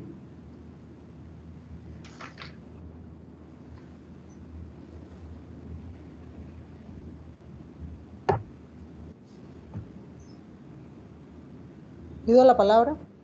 Adelante. Sí, claro, claro, adelante, profesora. Eh, es que, es que ese es el punto, ese es el punto. Eh, nosotros pudiéramos hacer una propuesta muy concreta en la que se indique, o sea, se pueden hacer varias cosas. Uno, diciendo que a corto plazo se requieren estrategias de intervención de formación continua del docente de alto impacto y calidad que les permita, y entonces ahí vamos con todo lo que quiere el ciudadano, y ya decir que es a corto plazo.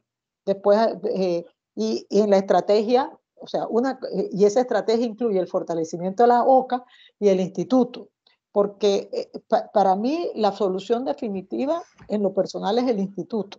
Yo pienso que mientras sea una OCA, y, con mucho respeto, tengo que decírselo, eh, la OCA si le gusta, por ejemplo, eh, eh, lectura comprensiva, ¿qué va a ofrecer lectura comprensiva? Que obvio lo necesitamos, pero en otros momentos son temas que son parte de su oferta de OCA, pero no necesariamente lo que requiere el país. Entonces, para nosotros es muy importante y, no lo, y, y quizás lo, ahí añadiría ya como propuesta que las ofertas de capacitación sean pertinentes a las, a las, para solventar las debilidades y las expectativas ciudadanas. Yo creo que eso, eso es bien importante. Eh, que, se, que no sea cualquier capacitación, sino una capacitación que tenga impacto en los aprendizajes significativos de los niños. ¿Qué es lo que se hace en, el sector, cuando hablamos de capacitación en el sector privado, que hacemos el análisis y necesidad de la capacitación? ¿Cuál es la, necesidad, en este caso, tomando en cuenta al estudiante, de la capacitación que pueda dar esa capacitación una respuesta a una necesidad que tiene tanto el docente como la, el estudiante.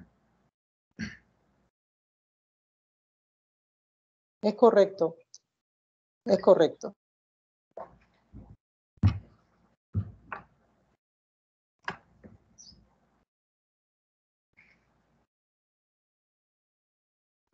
Muy bien, Cayetana. Usted hace rato quiere hablar, pero no. Su lenguaje corporal me lo dice. Adelante, Cayetana. Y después viene la profesora Petra. Ok, buenos días, buenos días a todos. ¿Me escuchan? Adelante. Para dar un poco de respuesta ahí a lo que estaba usted en antes preguntando referente a los grupos me acaba de informar el profesor Juan. Primero que todo me dice que los expuse con ustedes porque no puede estar el día de hoy. Ni él ni su suplente, el profesor Isaza. No pueden estar ninguno de los dos por reuniones que tienen de trabajo.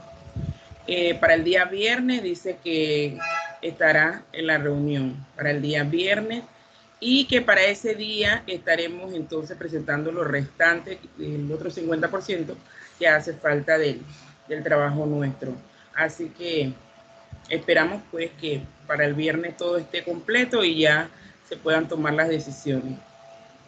eso es todo por el momento. En ese mismo orden, Cayetana, eh, si pueden, si pueden filtrarnos ya los códigos de la 50% que pertenezcan a capacitación eh, docente docente, correcto. Del 50% que nos hace de lo que tengan, de lo que tengan, necesitamos por, para poder ir completando este borrador, necesito decir, son estas 300 que hablan de capacitación docente, como dice muy bien, dice Fabiola Paz, con esta propuesta le, da, le estamos dando respuesta a estas 200, 300 que hablan de capacitación con la palabra clave que hemos usado, que dice capacitación. Eh, y muchas veces la capacitación, como decía Juan, cuando uno la lee, la capacitación también es, cuando hablan de calidad educativa, caen de una, a veces caen también en la parte de que el profesor no está educado, que no tiene vocación, entonces todo eso es parte de, si necesitamos eso antes del viernes, yo sé que son expertos, Juan sobre todo, entonces eh, si necesitamos ahora ese mental, decir, esto es capacitación, esto es lo que necesitamos para el insumo de y cuadrarnos, porque ya yo tengo la de la propuesta hecha por el grupo B y eso es lo que queremos. Ok, ok, profe, no se preocupe. Eh, vamos a estar enviándole la información solicitada lo más pronto posible. Dice Yamín que hay que verificar, me indican que acá lo con el tema de audio es de ustedes. Gracias, Yamín. Vamos a, a escribir la tecnología.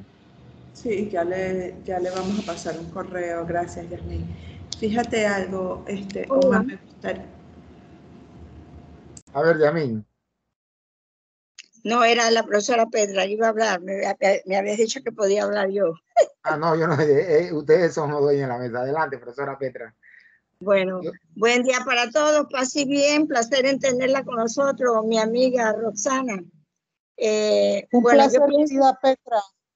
Hola, hola. Tuve muchísimos problemas para entrar. No sé por qué hoy yo tuve tantos problemas, pero gracias a Dios logramos entrar a, la, aquí al, a la participación que tenemos toda la semana. Sí, eh, me parece que con todos los insumos que se han hablado, tanto de Marlina como de eh, la profesora Roxana, mí, ya ahí tenemos el insumo para que nosotros hagamos nuestra propuesta, ya ahí está como ellas decían, eh, crear un sistema, pienso que pudiera ser crear un sistema de evaluación constante que incluya las metodologías y estrategias pertinentes. O sea, y agregarle algunas de las cosas que las compañeras han dicho, pero ya tenemos el material para avanzar. Me parece que ha sido muy importante la participación de, de del COPEME porque así mm, vamos haciendo un trabajo en donde no estemos eh, uno por un lado y el otro por otro lado, sino que vamos concretizando esas ideas y qué bueno que la profesora Roxana haya dicho que muchas de las cosas que ya estamos trabajando son acorde a, lo que, eh, a las propuestas que ellos también tienen. Me parece muy importante eso. Entonces me parece que con el material que tenemos, que aterrizamos ya y como tenemos aquí a, a Roxana que es tan experta en estas cosas, que ya hagamos la propuesta y que quede, porque en base a esa creación de ese de sistema de evaluación, es el que todos queremos que cambie. Bueno, entonces vamos a trabajarlo y que quede establecido ya. Ahí está la moción a la mesa. Señores comisionados. Eh, solamente un comentario, si me permiten. Adelante, Nivia. Eh, muy importante lo que eh, es, es que la evaluación que se haga tome en cuenta, por supuesto, el proceso de formación del educador, pero el impacto de su formación en los aprendizajes de los niños.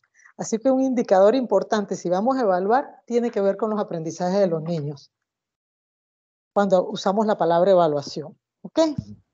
¿Cuánto los niños? Y podemos usar, por ejemplo, profa Petra, eh, yo no sé si ustedes los conocen, los derechos fundamentales aprendizaje. Ya eso Panamá lo tiene.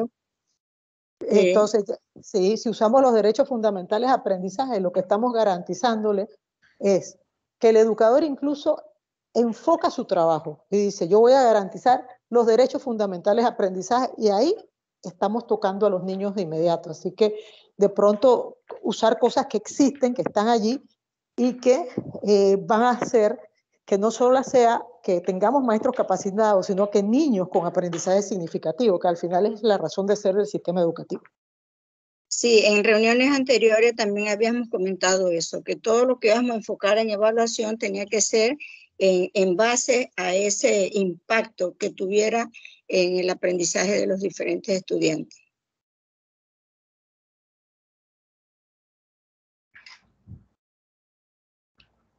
Muy bien, está la, la, moción de la profesora Petra, señores comisionados, de que ya hay, eh, con los insumos que tenemos, eh, y haciendo el borrador del, del acuerdo, ya, ya tenemos la primera parte, estamos en la segunda parte, la tercera parte ya no compete de la información que nos han dado la, la data. No sé si paramos 15 minutos, nos vamos al coffee, mientras Fabiola no puede ir al coffee, nos hace un borrador y no lo presenta y después sobre eso discutimos, le vamos dando forma. ¿Por qué se ríe el reto? Ella es la relatora, o sea, yo he pasado hablando, así que ella le toca ahora, si le parece, y así vamos adelantando. Ok. Así que ella nos da el borrador y nos lo, nos lo presenta y lo, sobre eso hablamos. Pero no se me vayan. Sí, perfecto. No se vayan, quédense por ahí, tomen su café, estírense y regresamos. No te vayas, Nivia, no te vayas. Yo me quedo aquí, Petra, cuando yo te he abandonado, por favor, me extraña. Desde nuestro tiempo, digo, Faustino Sarmiento. Ay, sí, mi amiga. Así es. No, no, porque yo sé que eres una persona muy ocupada, de repente tienes tantas cosas hoy, pero quédate un ratito con nosotros.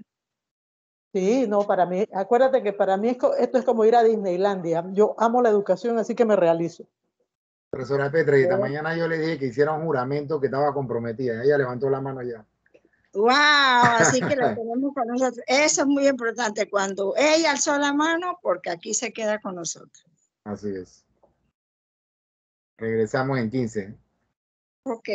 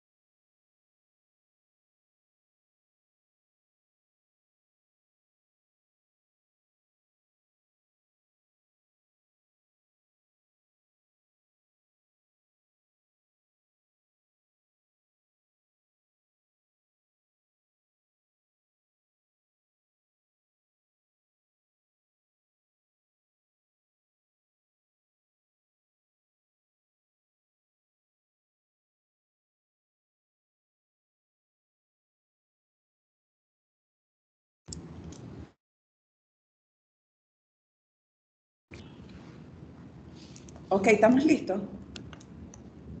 Hemos regresado. Ok, perfecto. Fíjense lo siguiente, estaba revisando, me gustaría compartir, Omar, este, si es posible, em, voy a compartir acá, dentro de las propuestas, ¿verdad? Voy a compartir un momentico en uno de los cuadros, me gustaría compartir una de las propuestas.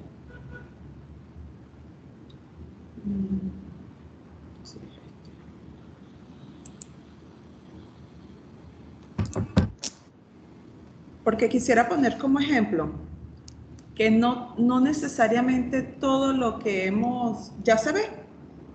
Sí, correcto. Ok, no necesariamente todo lo que, lo que estamos diciendo realmente concuerda como para darle eh, respuesta al, a los, al ciudadano. Porque, por ejemplo, en esta propuesta, ¿verdad? Eh, aquí, no, problema de inclusión del sistema educativo, hay que, ajá. Miren lo que dice este, esta, ay, ahora lo,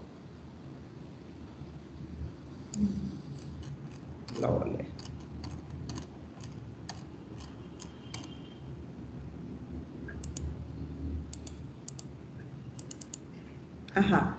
Dice, esta es una, es una propuesta. Preparación adecuada en la metodología usada en la enseñanza de los niños que ingresan a primer grado. Solución, capacitar al docente con, con, experiencia en esos niveles que manejen diferentes metodologías y sean capaces de llevar sus experiencias a través de sus propios resultados, ya que muchos docentes se han manejado por años en estos primeros niveles con resultados satisfactorios dice el ciudadano. Resultado, utilización y aprovechamiento de docentes enseñando a docentes, evitando el fracaso en la lectoescritura en los primeros niveles. Perdón, déjame sacarme este caramelo que me regalaron ahorita. ¿Cuál es mi punto de vista en, este, en, esta, en esta propuesta dentro de lo que estamos elaborando, verdad? de acuerdo a lo que, a lo que recogimos, yo acá logré rescatar varias propuestas, pero no necesariamente. Esta, esta, ellos acá eh, mencionan la capacitación de los niños en educación inicial. Ese ciudadano quiere que el docente esté preparado para, eh, para, un, para que el niño que ingresa a primer grado, él lo pueda enseñar. Sin embargo, para ese, a ese, para darle respuesta a lo que dice ese, ese ciudadano, no encajaría dentro de la propuesta que nosotros estamos realizando. ¿Por qué? Porque ya no es un problema de formación del docente, es un problema del sistema como tal. ¿Por qué? Porque el niño antes de ir a primer grado ya debe tener unos conocimientos previos en, el aprendizaje eh, que ha recibido porque cuando un niño va a primer grado, ya debería saber escribir, ya debería por lo menos saberse las letras, pronunciar algunas oraciones, este, escribir de cierta manera, que eso no necesariamente tiene que ser impartido en primer grado. ¿Por qué traigo eso a acotación? Porque dentro de lo que nos, dentro de, las propuestas, ¿verdad? Se dice eh, creación de un sistema de evaluación, establecer metodologías. Entonces yo lo puse así como a grosso modo para darle respuesta a, los ciudadanos que, son los que les están alimentando la base de datos del sistema. Se le verá propuesta al MEDUCA de la creación de un sistema de evaluación continua que garantice los derechos fundamentales del aprendizaje, se me ocurre. Adicionalmente, la creación de instrumentos que, que faciliten la evaluación de la capacitación constante y permite identificar las brechas en el aprendizaje y mejorar las estrategias aprendidas. Cuando hablo de la creación de un instrumento, aparte del sistema, yo creo mi sistema, pero también necesito un, por así decirlo, un sistema, por ejemplo, cuando cuando una persona, supongamos Microsoft, Microsoft anualmente, él a través de su plataforma a los instructores de Microsoft los certifica de que las capacitaciones anteriores le han servido y adicionalmente con nuevos conocimientos le refuerza el aprendizaje que ya ellos traen. No sé si, me, si me, me, hago entender. Es decir, aparte del sistema que vele por la formación, hay que crear una herramienta que verifique anualmente o semestralmente que la formación o el aprendizaje que trae el docente sea realmente de provecho para los estudiantes. ¿Verdad? Eh, pero todo eso lo tenemos que ver encaminado como que se, le, o sea, se, le, se, eh, se presentarán esas propuestas. El tema está en que ese ciudadano está confiando en que nosotros vamos a elevar esas propuestas. Pero, y nosotros... pero si lo hace, eh, lo que pasa es que lo estamos haciendo general, porque si no caeríamos lo que caemos los primeros días de darle respuesta uno por uno. O sea, por eso lo estoy. Tiene que enmarcarlo todo y decir, bueno, porque cada uno no va a tener, como se dice, el nombre y apellido, porque tendríamos que tener 2023 eh, propuestas de esto. Por eso que, por eso que está agrupando y agregándole lo que tú dices para meterlo todo que diga, bueno, van a mejorar. De manera global. vamos a mejorar la educación, ya sea para los niños, para los grandes, que creo que lo dijo Nivia también, de que la parte de, de que la capacitación aterrice en el estudiante, en el niño, y no solamente que yo tenga toda la maestría y todo los doctorados en educación, pero sin embargo yo no los he transmitido, no aterriza, no hay como un retorno de eso. Claro, adicionalmente, de acuerdo, ay, disculpe, profa, adelante usted.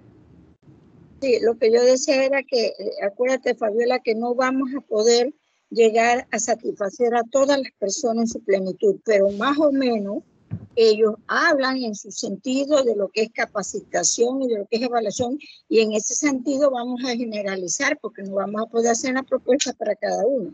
Claro. Eh, adicionalmente, me parece que no vamos mal, va, vamos bien. Ok, adicionalmente, de acuerdo a, a esta a, todas las propuestas y problemas que he podido percibir, a mí particularmente me gustaría agregar, ¿verdad? Eh, como un aporte, eh, sugerir a las asociaciones de padres y representantes, ¿verdad? La revisión de, de acuerdos, es decir, que los padres y representantes que sean miembros de las asociaciones tengan los documentos enmarcados legalmente, ¿verdad? A disposición para que ellos sepan de que ya hay cosas creadas y que no necesariamente estas propuestas que ellos están elevando es para crear, sino que ellos tengan la, el sustento de que eso ya está creado, pero ellos como padres también tienen su cuota de responsabilidad en la, crea, en la formación de sus hijos, ¿verdad?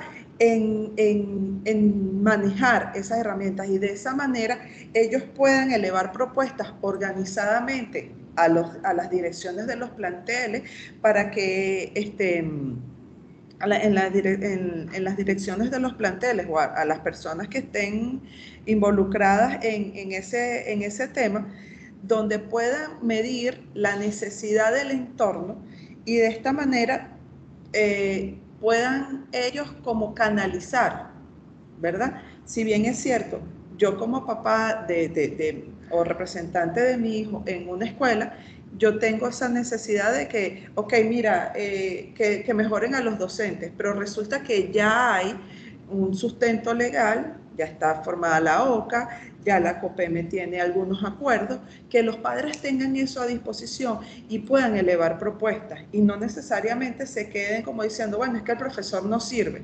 No, ya va, yo aquí yo tengo a la disposición este acuerdo, bien sea a través de plataformas digitales, bien sea a través de, de, de, link, bien sea a través de de que cuando ellos se reúnan y crean la asociación de, padres y representantes, eh, la escuela o, el centro educativo le ofrezca, este, mira, ya estos son los sustentos legales a través de los cuales sus hijos van a ser capacitados constantemente. Fabiola. Disculpe, ¿sí? No, no, sigue, sigue. que no termina, no, no, no. No, dígame, dígame, dígame que de repente es importante. Viene Marlina también. Marlina, Marlina. Así, adelante, Marlina. En función de lo que tú dices realmente, sí, agrupamos, como dice eh, la profesora Petra, estamos agrupando todo lo que significa capacitación. Y cuando hablamos de capacitación, nosotros tenemos que valorar hacia qué áreas nosotros vamos a definir los tipos de capacitación que van a hacer. Y eso incluirá los niveles, cómo debe comportarse un docente en primera infancia, cómo debe comportarse un docente en la básica, y, así sucesivamente. Pero hablamos de capacitación docente generalizado e integral, porque cuando capacitamos no es nada más en la herramienta, cómo usar un, un, un para tu clase, sino qué impacto, qué pedagogía le vas a aplicar a esto. es la forma de hacer con esa herramienta, porque las herramientas son unas cosas y la forma de hacer es otra. Entonces, ahí es con un sistema de evaluación, vamos a validar todos esos elementos para que se puedan hacer buenos planes de capacitación orientados. O sea, yo siempre sostengo el hecho de que si yo capacito, ¿verdad? Yo debo medir el resultado de esa capacitación, como decía hace un rato la profesora Castellón. ¿verdad? Nosotros, nosotros capacitamos, explicamos, enseñamos, ellos terminan una capacitación, nosotros debemos ver realmente qué impacto tiene esa capacitación de ese elemento que hicimos en el estudiante, en el aprendizaje de, de nuestros jóvenes. Y cuando digo jóvenes, voy de, recogiendo todo lo que viene desde primera infancia hasta que llegamos a, la, a, los, a los adultos. Porque no pasa nada más en las escuelas, pasa también a nivel superior, que nosotros debemos no transmitir. En este momento ya el tema de transmitir conocimientos no va. Nosotros vivimos en un mundo donde las tecnologías nos han cambiado la forma de hacer, la forma de aprender. Entonces lo que tenemos que enseñar a los jóvenes es cómo aprender, ¿verdad? cómo aprender, porque se aprende buscando, investigando, haciendo. Entonces hay muchas formas de aprender. Entonces eso es lo que nosotros necesitamos, que nuestros docentes estén claros en el manejo de la herramienta y con este manejo de la herramienta, cómo ellos logran que ese estudiante gestione su conocimiento. Entonces, eso hay que evaluarlo. Una vez se le enseñamos a ellos, lo ponemos en práctica, evaluamos ejecución, evaluamos. De lo que evaluamos, entonces concluimos, hay que reforzar, hay que mejorar, hay que cambiar. Este, este es el plan para lo que hay que hacer. Por eso es que es importante la capacitación y luego la evaluación, porque sí, es cierto, estamos capacitando a todos los niveles, pero evaluamos eso nos pasa cuando se dice, no, no vamos a participar en, esta, en este concurso internacional por tal cosa. No, tenemos que saber dónde estamos para poder entonces decir qué tenemos que hacer para mejorar. Ese, ese es mi punto, Fabiola. Por eso que ese, ese elemento que pusiste queda perfecto como un ejemplo de que, de que hay que capacitar, evaluar, hacer el diagnóstico, planificar y volver a capacitar. Correcto, y agregando por ahí mismo, dale el seguimiento. Exacto. Y lo que dice Fabiola, Fabiola, es exactamente eso, si tenemos una ley, si tenemos una OCA, si tenemos COPEBE, que tiene ya el plan y tiene los, los, cuatro, lo que ha mencionado Nivia, ese es el adjunto que le vamos a poner a la propuesta. Es decir, esto está ya ahí, entonces este es el documento, y muy cierto, ya entrarnos a que el padre familia lo tenga y todo es perfecto que era lo que decía Marlina Ancillo. Mucho de lo que estamos leyendo aquí, viendo aquí, ya existe, pero no hay comunicación de aquí para allá o tampoco hay el interés, porque también hay que ver esa otra parte. Tampoco hay interés el que quiere ayudar a buscar la información y ver si la tenemos. Entonces, eso cabe perfectamente cuando se hace la propuesta de decir, esto la tenemos respaldado por esto, porque existe una OCA, ya existe un plan para crear un instituto en el, en el acuerdo de PNUD. OPM tiene esto, así que aquí es lo que estamos diciendo, se basa en esta, porque existe este, este, esta institución o, este departamento de Ministerio de Educación y COPEB también lo tiene, crear un instituto. Entonces, eso complementa todo lo que estamos viendo. Esa es mi opinión. Ok, lo que, el tema está en que para, para darle respuesta al ciudadano, es mi punto de vista, este, decirle que, se va a sugerir la creación de un instituto que revise eh, la formación o que haga seguimiento a este nivel de los ciudadanos, realmente yo creo que no va a ser muy nutrido, porque el ciudadano lo que quiere es una respuesta, más no una promesa. Pero en la, por eso que acuérdate que en la propuesta luego estamos en la parte regional, pasa a la parte nacional, que viene cómo, el cómo hacerlo, que estamos dando el insumo. Entonces, solo estamos proponiendo y eso se corrige para que quede ya como parte del pacto. Listo. Sí. Alguien levantó la mano, no sé qué.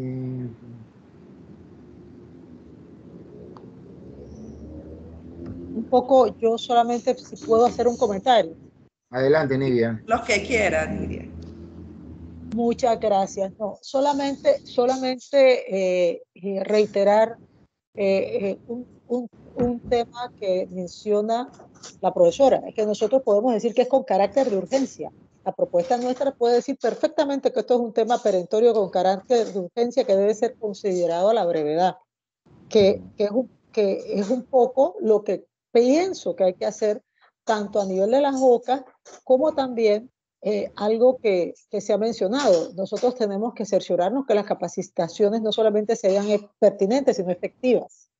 Y la efectividad, eh, por eso hablábamos de los indicadores, eh, tienen que ver con los aprendizajes de los niños. Eh, eso es muy relevante. Eh, al final tiene que hacer, haber un cambio no solamente en conocimientos, sino en competencias, habilidades, actitudes y destrezas.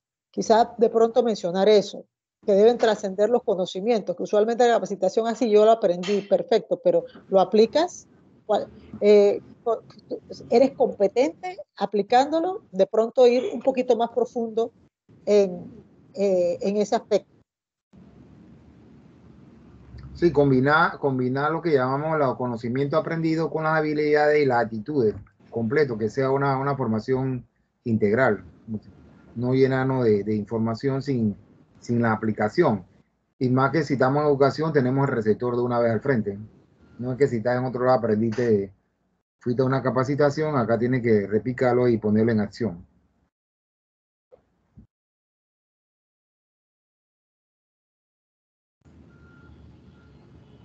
Entonces podría ser, la, eh, se sugiere la creación de, de, un instituto que mida, de un instituto de evaluación con carácter de urgencia que mida la calidad y cantidad del aprendizaje en los docentes.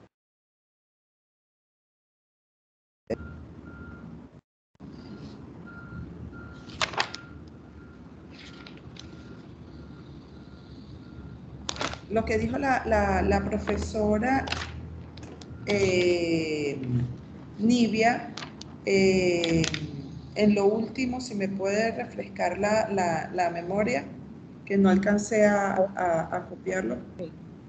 Es que hay dos cosas. Yo entendía que una cosa es que dentro de cualquier propuesta de formación continua tiene que haber la evaluación. Así que no es solamente, eh, es un, no es un instituto de evaluación, es un instituto de formación docente que tenga dentro de sus pilares la evaluación del impacto de las capacidades, de la formación continua, tanto en los, eh, era lo que les decía a, a, hace un momento, en, la, en los conocimientos, competencias, habilidades, actitudes y destrezas. Y la aplicación práctica para lograr aprendizajes significativos en aula. Que al final eso es lo que nos interesa. Claro. Ese, eh, perdón, perdón, ese es importante lo que acaba de decir Nidia, al final es la aplicación, la práctica. Y también el acompañamiento que lo dijo la, que lo dijo la profesora Nivia hoy y lo dijo y lo mencionó en la sesión anterior Juan Castillo, en el que decía que era necesario un ente que se encargara del acompañamiento del docente que no fuera nada más un sindicato, por ejemplo, sino que hubiese un ente que, que, que, de, que realizara una evaluación eh, completa del docente, no nada más a nivel de conocimiento, sino a nivel de humanidad, de, de, ser humano como tal, de cómo está su condición, si necesita algún, de repente algún apoyo, porque realmente si el aprendizaje de repente no, no le, o la formación o la capacitación no, le, no, no es de aprovechamiento para el docente porque está atravesando una situación personal, eso también sería, sería motivo por el cual la formación no está siendo efectiva. Que creo que, que creo que es el, lo que, el propósito del instituto, no solamente, como dijo Nivia, no solamente darle una capacitación, sino todo con toda la parte integral, la actitud de la destreza que mencionó, del ciudadano. Y si está, y si está como un instituto, por supuesto que es el encargado del seguimiento, como ella dice, en otro lado existe, en Panamá no existe, existe un departamento de la OCA y tiene una característica especial que no es integral, es, mi opinión. Eh, perdón, tengo una propuesta, ¿y si lo llamamos un instituto para el desarrollo integral del docente? Perfecto. Y que, le incluya las capacitaciones, que incluya todo. Entonces ya es desarrollo integral. Sí.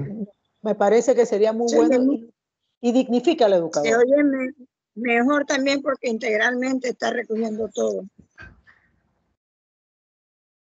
Y si se quejan, si se, yo se quejan, perdón, si, si están poniendo aquí la, los ciudadanos que no tiene vocación, que no tiene manera, no, no están hablando que no sabe física, no sabe química, con el perdón de estos profesores, eh, ellos no están diciendo que no sabe eso, que no sabe tratar al estudiante, que no sabe eso.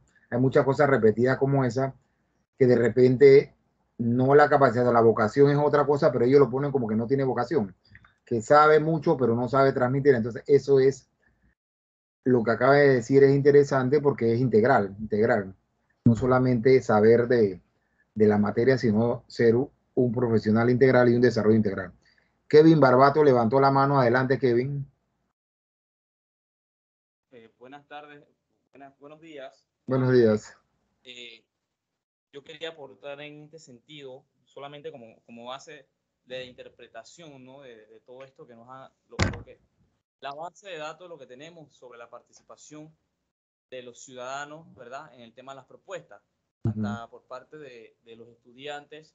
Hicimos nuestra respectiva propuesta y puedo mencionar que, que inclusive dentro de los estudiantes, del colectivo estudiantil, de, pertenecen a los centros educativos, se tiene esa percepción de la no vocación que existe en nuestros docentes eh, la forma de tratar al estudiante es importante.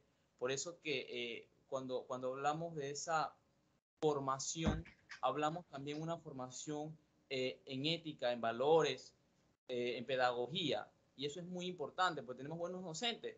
Tenemos docentes que saben, son magníficos en, en, en química, pero no, son, no saben cómo interpretárselo a los estudiantes para que lo aprendan. Entonces, ahí hace falta un poquito más de pedagogía cómo, ser, cómo, cómo aplicar esa pedagogía.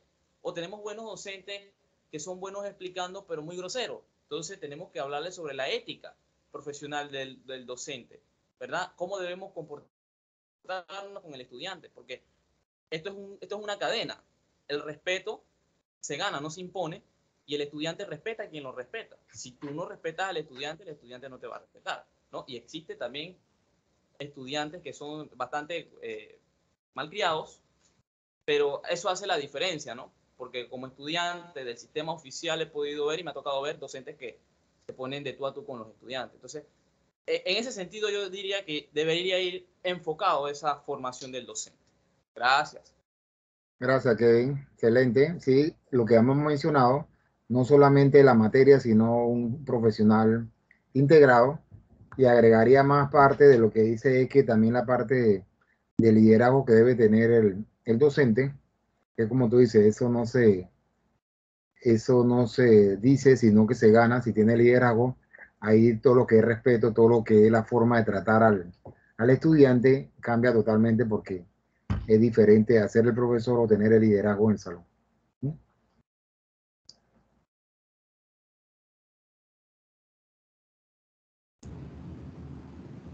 Ok, entonces podemos colocar, se sugiere la creación del Instituto de Formación para el Desarrollo Integral del Docente con carácter de urgencia que, mide, que mida la cantidad y calidad del aprendizaje, ¿verdad? Así como los conocimientos, competencias, habilidades y destrezas y brinde, y brinde acompañamiento que dignifique la labor del docente.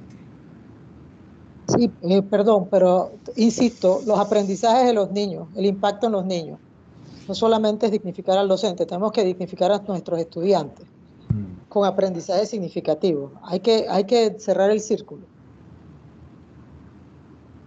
Correcto.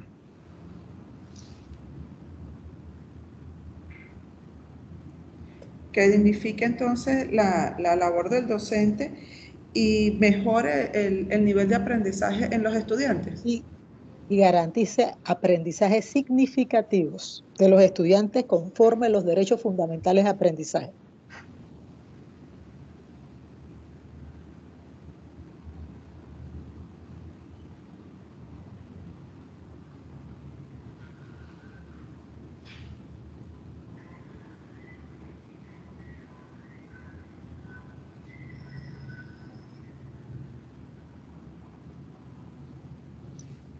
Profesora Nevia, en el, en el chat mi correo, mi celular y el de el de Fabiola para que, nos ah, escriba, para que nos escriba y mandarle los insumos después de la reunión.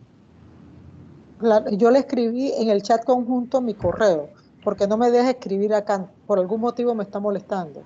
Ah, ok.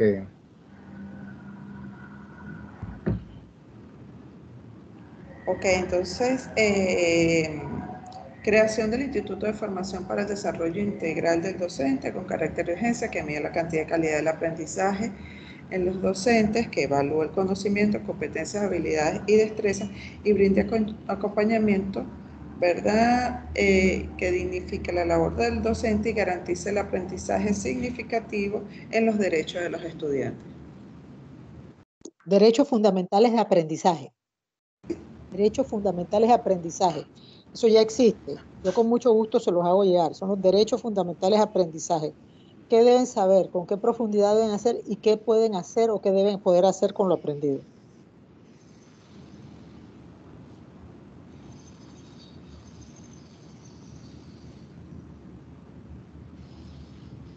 Ok. Entonces, y significativo, los derechos fundamentales del aprendizaje para los estudiantes. Es correcto, de los, de los estudiantes. De los estudiantes. Les pertenece. Es que eso es de ellos. Ellos tienen esos derechos fundamentales como el derecho humano a aprender con calidad. Ok. Eh, bueno, yo creo que con estas cuatro, ¿verdad? Eh, con estos cuatro puntos podemos este, iniciar eh, un preacuerdo, Omar, o no sé qué, si, si consideran que debe, debe, si debe adicionarse algo más, no sé qué dicen los comisionados, sería... Eh, vamos a hacer algo, quita, quita la pantalla y vamos a, vamos a poner el título y tú lees lo que dice el preacuerdo.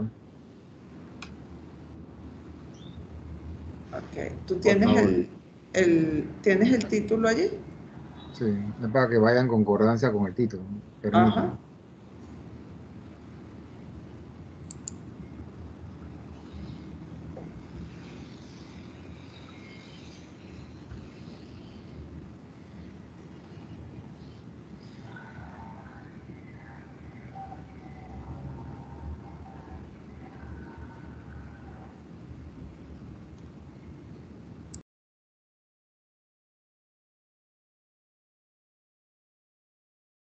Permítame, que ya va.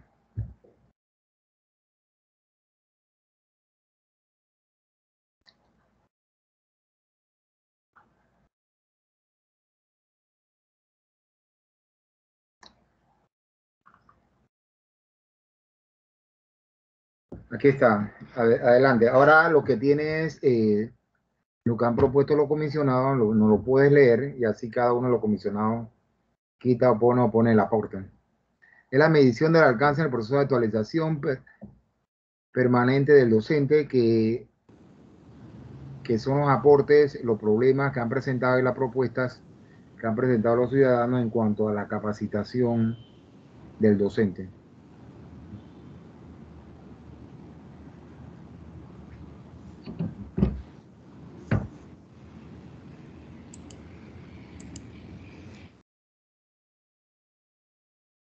Hay medición del alcance de la actualización permanente del docente. ¿Ese sería el título? Correcto. Ah, bueno, lo comisionado, ese fue el que cogimos el, el tema de la creación de...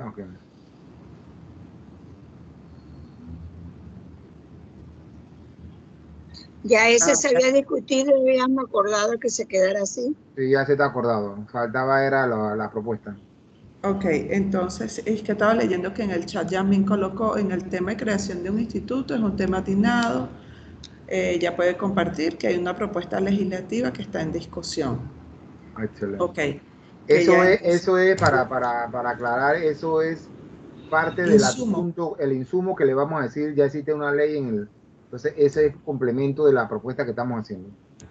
propuesta legislativa. Propuesta, legislativa, habría que verla.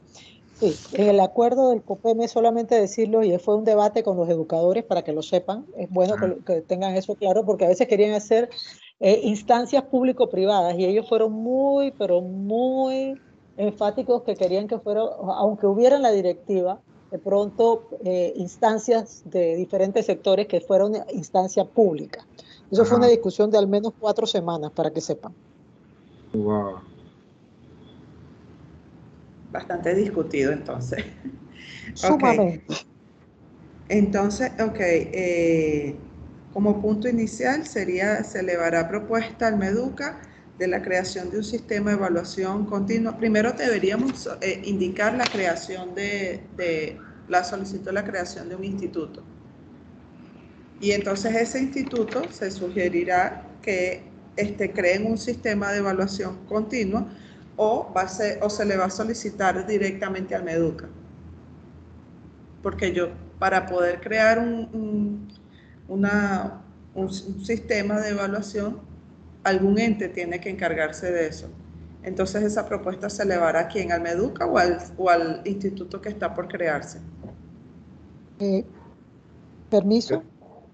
Adelante, sí, Es que depende, porque en este momento la obligación legal la tiene el Ministerio de Educación por un lado, eh, a través de la Dirección Nacional de Evaluación Educativa, que han, ya han avanzado en algunos, algunas herramientas en ese sentido, pero por el otro lado, ojo, por el otro lado, eh, eh, dependería si de pronto hubiera otra, otro, un cambio normativo, pero en el presente es una obligación primaria del Ministerio de Educación. Listo. Entonces sería, se elevará propuesta al MEDUCA, la Dirección Nacional de Evaluación Educativa, de la creación de un sistema de evaluación continua que garantice los, los, de los derechos fundamentales del aprendizaje. ¿Está bien así? Eh, eh, yo le sugeriría, no es la creación, es que yo creo que ya es, eh, hay cosas creadas. Yo diría que sería el, es, el desarrollo e implementación, pudiera Desarrollo e implementación, correcto, de acuerdo. Sí, porque como hemos dicho, el ciudadano común no sabe que existen muchas cosas, entonces aquí para darle eh, respuesta y hacer un acuerdo de si, si existe, hay que implementarlo. Y lo que dijo Nivia, por ahí se ha quedado, eh, que no lo ha mencionado Fabiola, que es la parte también de dotar de recursos necesarios para hacer eso. Yo no sé si será la segunda parte de la propuesta, porque si puede, puede solicitarlo a cualquier institución, pero si no eh, le estamos diciendo que para eso se necesita eh, dotar de los recursos necesarios para poder lograr hacer esto. claro, pero no, y, mencionar que es un acuerdo nacional, eso ya se acordó. Eh, Así es. Entonces, mencionar que es un acuerdo nacional, eso no es que estamos en este momento hablando de eso, sino que eso viene, pero sin recursos es imposible. Ok, entonces fíjese, ya no sería entonces de la creación de un sistema de evaluación continuo, sino que sería la implementación del sistema. El sistema ya existe. Desarrollo e implementación. Desarrollo e Desarrollo e implementación. Eh, pero también hay un sistema que se está implementando de evaluación. Entonces, este, no sé. Y el instituto que se está creando a nivel paralelo, Petra, tú que estás allá, del lado del despacho, en donde se está también viendo un poco acá en Juan de Móstenes a Rosemena, que tiene que ver un poquito también con esto de lo que es de evaluación de algunos aprendizajes. ¿No está vinculado también con este tipo de proyecto? Claro que sí, eso tiene algunas cosas en común. Sí, eso, eso, eh, eh, eso tiene cosas en común, es correcto. Pero lo importante es que acá es un tema público yo quiero insistir mucho en la palabra público. Eh, eh, y será porque a mí me, nos tocó a nosotros ver todo el desenvolvimiento. de este tema, porque obviamente los educadores tienen el temor que la evaluación sea punitiva. Entonces tiene que ser una evaluación que real, los acompañe para hacer una mejor versión de ellos mismos como líderes pedagógicos. Así que eh, es muy importante que quede muy claro porque además entiendo que lo que estamos tratando, o sea, lo del instituto pedagógico que es interesante, eh, yo no sé si es formación continua, yo tengo la duda si es formación continua o no. Bueno, eso lo podemos verificar con el profesor Cándido, que es el responsable directo del tercer nivel. El responsable directo de eso y pudiésemos verificar para la próxima sesión. Pero los institutos, depende de cómo afectamos el programa, entonces será formación continua, no, si hacemos una carrera, eh, no será, será una formación formal, disculpe la redundancia, pero si son cursos, eh, actualizaciones, son entonces eh, formación continua.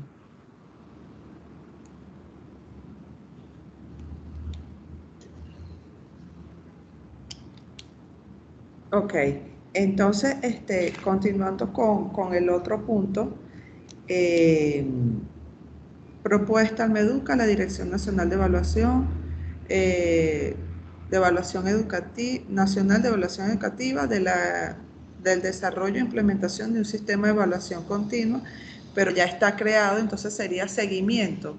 Lo que pasa es que decirle eso a un padre de que hay una dirección en el MEDUCA, de que ellos le deben dar seguimiento, yo creo que no corresponde mucho, porque yo como padre, que a mí me diga, mira, ok, hay un instituto que se encarga de eso, ok, pero ¿por qué, por qué no llega a mi escuela? ¿Por qué tengo que ser yo la que vaya de la dirección y les diga a ellos que, que, no están impartiendo las clases que mi hijo necesita? Más o menos es para, para enfocarlo a, a darle la respuesta al ciudadano que escribió en el sistema ABRA. Pero recuerda... El detalle allí... el detalle allí lo veo en función de que el padre de familia, como bien lo acotó Irene hace un rato, desconoce de la praxis o de las prácticas y de los sistemas que tiene el Ministerio de Educación. Entonces, un poco más allá también sería, no sé el ciudadano que eh, propuso esto, pero es que el sistema educativo se basa en esa evaluación continua.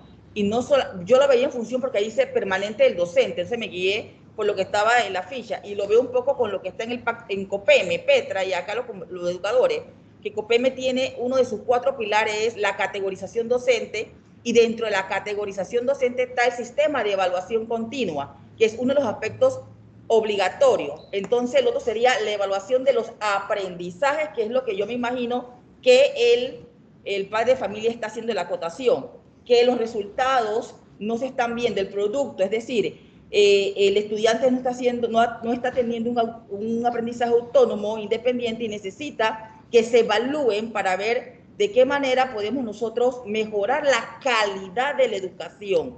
Entonces, en ese sentido, sí es la, la, la, la Dirección Nacional de Evaluación la encargada por ley. Imagínense que está adscrita directamente al despacho y ni siquiera está adscrita a las demás áreas curriculares, porque ella también tiene algunos tipos de connotaciones internacionales. De hecho, vamos a aplicar la prueba TERCE, Crecer, PISA, pero son pruebas que nos enmarcan, nos encajonan y lo que tenemos más bien es que analizar desde cada uno de los contextos y las regiones, el Panamá urbano, el, Panamá de, eh, eh, eh, de los barrios, etcétera, qué es lo que está pasando, porque no es lo mismo en la comarca que en San Miguelito y ver desde allí cómo podemos mejorar a través de un sistema de evaluación que allí yo sí creo Irene, que sí sería innovador, porque como eso es a nivel global y lo que queremos es contextualizar, entonces sería un sistema educativo contextualizado a la región educativa de acuerdo a esas necesidades para ver cómo se va mejorando esa calidad. Allí sí, porque eso sí no lo hay. Lo que hay es algo global, que a todo el mundo lo miden con el mismo saco,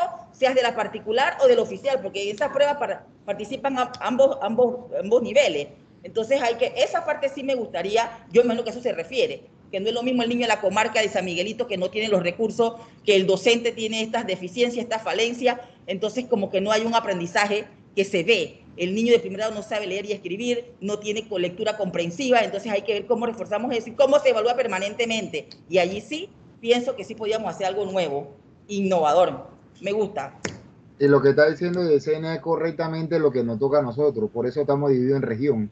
Estamos haciendo nuestra propuesta regional que significa San Miguelito, Colón y Panamá Metro. Entonces, bueno, por decir Panamá, eh, y está metido San Miguelito. Es precisamente lo que dice que el acuerdo que lleguen ustedes, señores comisionados, señoras comisionadas, es precisamente eso. Por eso que pasa después a otro nivel, que si eso se convierte a nivel nacional, porque no, no lo así que el acuerdo es con los insumos y de lo que existe. Okay. Yo quería hacer un comentario cortito. Adelante, Nidia. No, aquí puede, puede, puede, hacer comentarios largos, no se preocupe.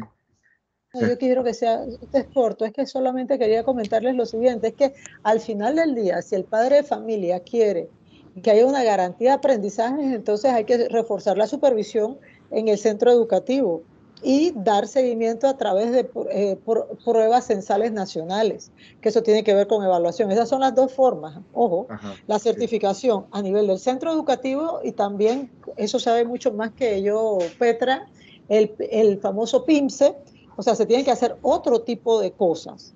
Eh, que no, no es solamente un instituto. Si tú quieres que, eh, darte cuenta qué ocurre en una escuela, cuáles son los aprendizajes, el primer responsable en la línea de batalla es el educador, el segundo es el directivo. Y, eh, puedes hacerlo a nivel de direcciones regionales y puedes hacerlo a nivel de evaluaciones eh, nacionales como la prueba Crecer, que es censal. Y entonces ahí tú sabes, niño por niño, cuál es el nivel en las materias básicas. Sí, por eso más adelante yo había involucrado, ¿verdad? O sea, puse como sugerencia que aquellas asociaciones de padres y representantes, que, ellos tengan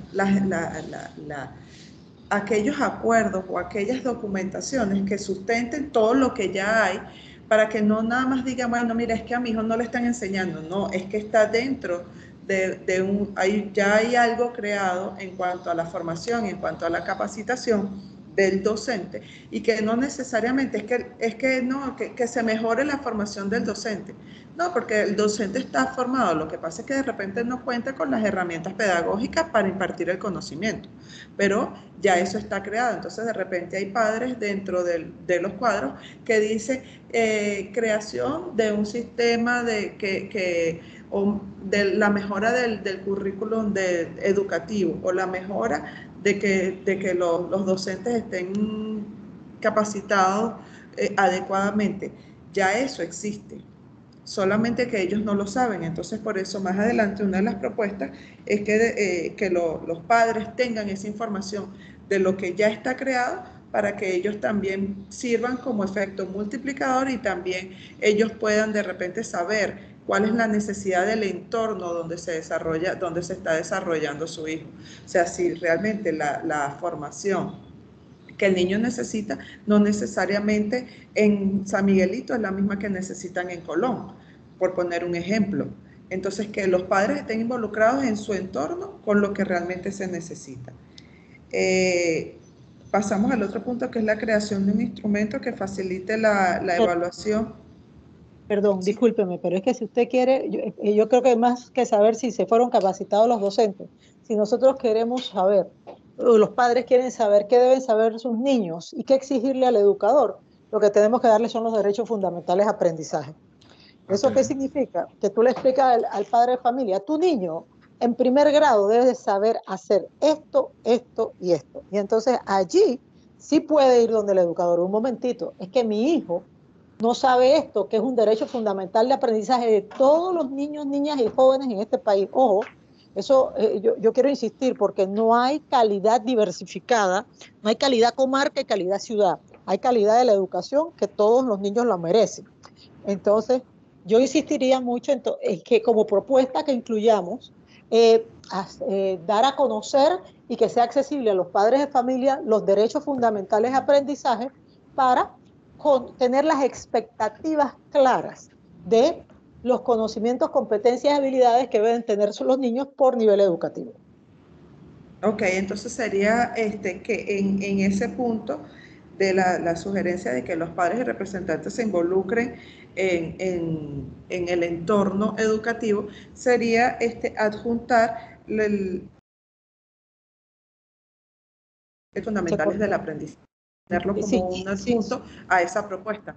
No, más que un adjunto, pero, explicitarlo, explicitarlo. Eh, eso iba a decir lo que dice Nidia, yo lo pondría también, que los padres conozcan los deberes y derechos fundamentales, que si le vamos al documento del adjunto es otra cosa, pero entre la misma propuesta, eso creo que estoy copiando a Nidia, es poner eso, que los padres deben conocer los derechos fundamentales de, la educación del niño, independientemente. De aprendizaje. De aprendizaje. Y, dicho sea y dicho sea de paso, para que lo tengamos claro, las pruebas crecer lo que miden son los derechos fundamentales de aprendizaje, no el currículo. Ojo, miden son los derechos fundamentales de aprendizaje.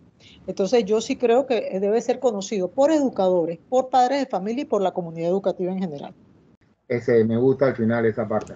Así es.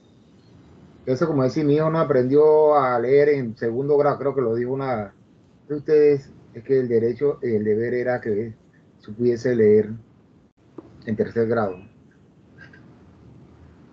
Sí, porque ya estamos, ya estamos, viendo aquí que parte de todo eso, como hemos dicho a lo largo de las mesas y de las reuniones, casi que todo está creo ahí falta algo que dijo hace mucho rato atrás en, en ciertas reuniones, Marlina, es la parte de la comunicación. Entonces, ¿cómo llegamos a ese acuerdo para decirles, señores, padres, familias, señores que están aportando, eso existe? Lo que hay que proponer, porque acuérdense que le estamos dando respuestas a ellos, es proponer que se haga como lo que dijo Nivia esta mañana, pero para poder hacer eso, una de las recomendaciones, una de las propuestas es que se le adote de recursos. Y así vamos a encontrar cuando lleguemos a infraestructura. Infraestructura quieren escuela, quieren, quieren baño, quieren, pero si podemos decir, sí, vamos, que le hagan escuela y que todos los centros educativos sean, tengan una buena infraestructura, pero al final es, tenemos que proponer, acuérdense que eso va a otro nivel para después hacerlo al Estado, eso es que se dote de recursos, porque podemos, eh, no le vamos a dar respuesta sino tomarlo en cuenta, porque como dijimos aquí, si vamos a darle respuesta a cada uno, no vamos a, terminar, pero sí que lo estamos tomando en cuenta dentro de la propuesta que estamos haciendo. Pero si, si en un momento dado yo tengo que construir escuela, yo necesito recursos. Y si no lo tiene el presupuesto de la nación o no lo tiene el Ministerio de Construir Escuelas, no, no estamos haciendo. ese es, eso es la dinámica, la propuesta. La propuesta, porque acuérdense que a lo primero estábamos que queríamos de resolver todo y terminar, decir vamos a hacer esto y esto y esto. Vamos a buscar el terreno, vamos a buscar, eso no, no, es, no es la competencia aquí, sino la propuesta de lo que se debe ser buscando los soluciones. Y con el aporte que nos ha dado Nivia este, en este día, hay muchas cosas adicionales que ya están hechas, que es cuestión de implementación o darle seguimiento. Ok, entonces el, otro punto sería procurar los, recursos necesarios, humanos, tecnológicos y materiales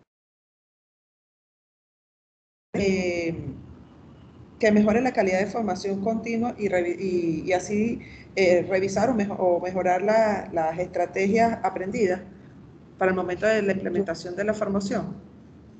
Yo eh, tenía que debían procurarse los recursos necesarios en el proceso efectivo y lo llamó una mujer. Para, la, para, la implementación de esta hay un micrófono estamos un micrófono que habla de todos los días. A ver y ahora iba a hablar Nidia o eh, adelante Nidia sí solamente decir de dotar los recursos para de repente para sí pero yo quiero insistir en una cosa para implementar las políticas públicas que ya existen, han sido consensuadas. A mí lo que me preocupa es que se piense que eso no se ha dicho. Sí se ha dicho, existe, pero tienen que dar los recursos. Claro, ¿cómo podemos enfocar o, cuál sería la, manera de que el ciudadano que está solicitando capacitación le digamos que el Estado debe procurar cuando él está, escribiendo, su necesidad. No le podemos, creo que no le podemos responder con más necesidad. Eh, Hay que, ¿Y cómo hacemos para ser honestos? Es que nosotros tampoco podemos inventar. Yo creo que la honestidad es, fundamental. Así es. Es eso, por eso digo, no podemos, ese no es que, que yo le pregunto a usted me tiene que dar toda la respuesta de la que yo quiero escuchar. No se va a poder, por eso es una propuesta. Eh, Yasmín está pidiendo, Fabiola, que lo escribamos y lo presentamos. Ya el, lo que hayas escrito para que, que todos vamos a ver. Porque está, está teniendo problemas de audio. Ok. No importa, escríbelo en, Word para tenerlo ahí y ya ahí viéndolo para que el que no pueda hablar lo pueda chatear. Sí, lo que acaba de decir Lidia es, hay que dotarlo de presupuesto. No vamos a decir que si hay presupuesto o no hay presupuesto, es, dotarlo. El presupuesto para poder implementar pues.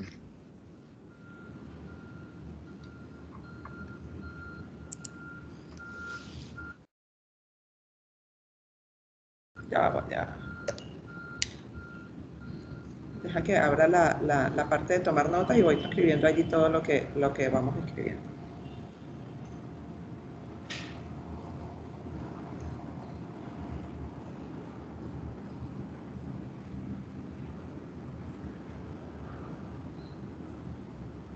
Creo que no, no me permite. Ya yo, ya yo dejé de presentar. Ok, vamos a intentar Es que estaba mi presentación. Ok, ok, ok.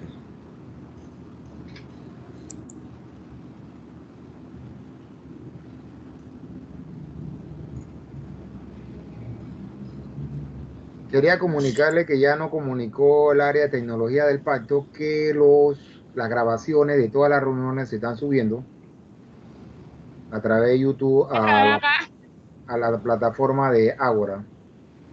Todas las otras sesiones van a comenzar a subirse. Si desean ver la, la grabación de las reuniones por cualquier punto, se puede aclarar, van a estar ya a través de YouTube. Ahí lo están viendo, Omar. No.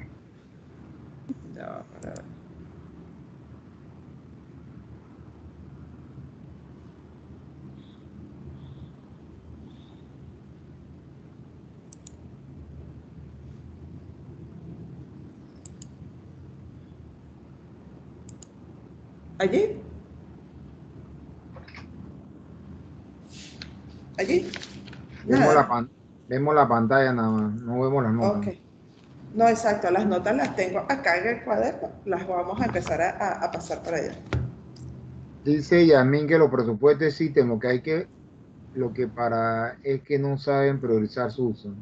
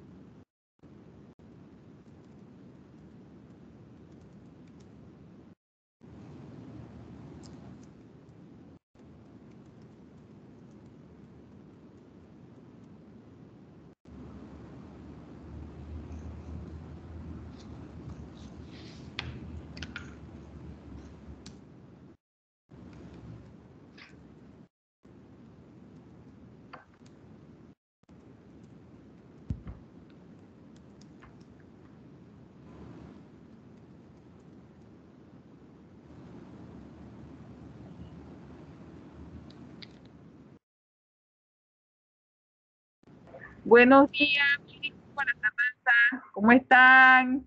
Buenos días, Irina, ¿cómo estás? Hola, buenos días, Irina, ¿cómo estás? Ay, aquí con una serie de situaciones en la escuela que no me había podido conectar. Pero bueno, aquí estoy. Bienvenida, Irina, bienvenida, bienvenida. Gracias. Estamos en el punto de Irina de bienvenida, en el punto de de, la creación del borrador de la del primer el primer acuerdo en, cuanto a la capacitación docente. Eh,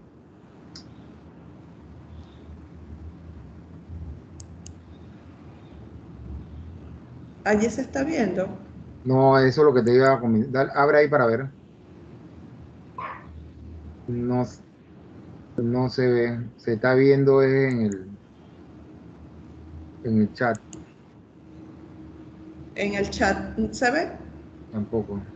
¿No? No vemos. Vamos a hacer algo más fácil.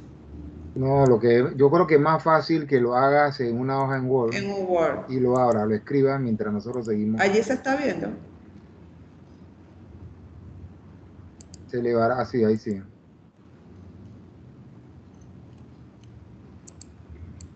Elevará, elevará.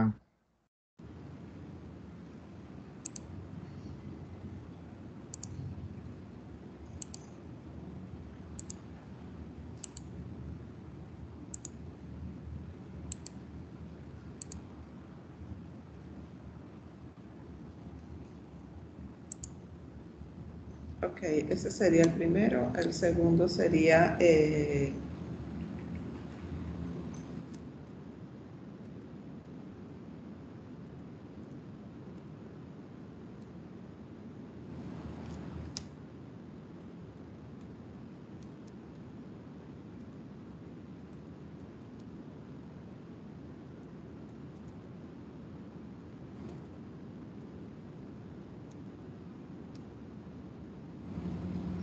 Hay falta económico, financieros.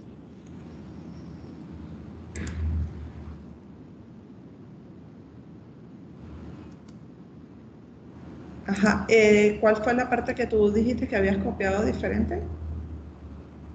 Se deben procurar eh, dotar, era deben procurar los recursos necesarios para un proceso efectivo en la implementación, en la implementación de la estrategia de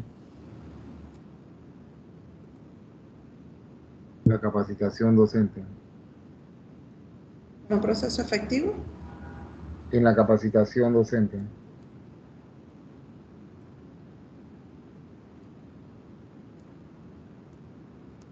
¿Todos están viendo?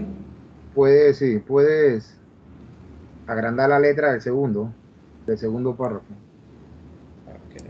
Por favor. Sí, sí. Ahí.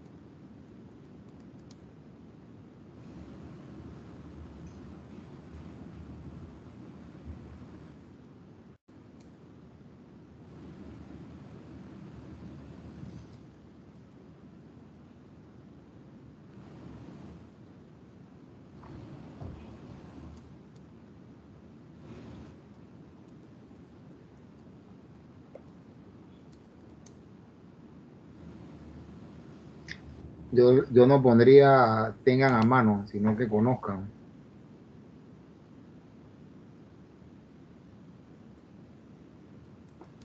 Como que conozcan la existencia de los, que eso existe, como han dicho todos en la mesa.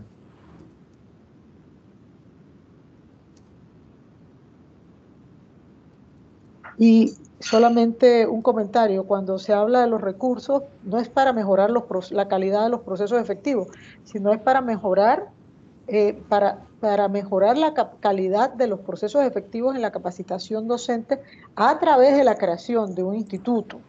Porque al final, yo insisto en esa parte, si no, vamos a poner más, plata en lo mismo y esa no es la idea. A la, sigue, sigue, sigue por ahí, Nidia, para cerrar esa idea? A través de la creación del, del Instituto para la Formación Integral del Docente.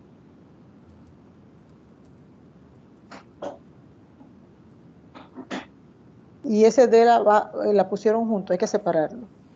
Por favor. Sí, es que más adelante, Sí, es que más adelante está el, el, en otro punto tengo la creación del instituto. No, pero déjalo junto para ya cerrando la. Sí, ah, pero de como, tú, como, como, tú lo tienes puntualizado, vamos a ir cerrándolo para ahí, así lo hacemos. Digo yo, mi sugerencia, no sé lo de. No, no, perfecto, perfecto. Eh, integral del docente,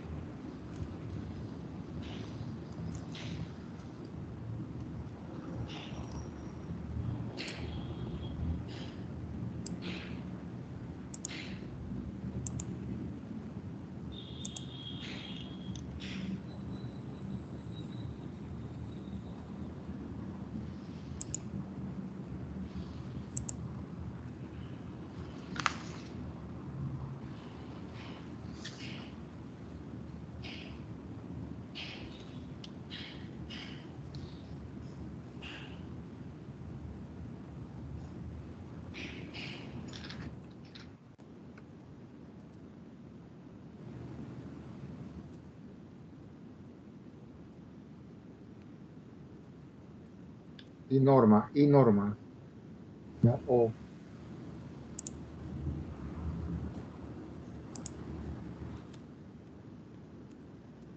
Y normativas.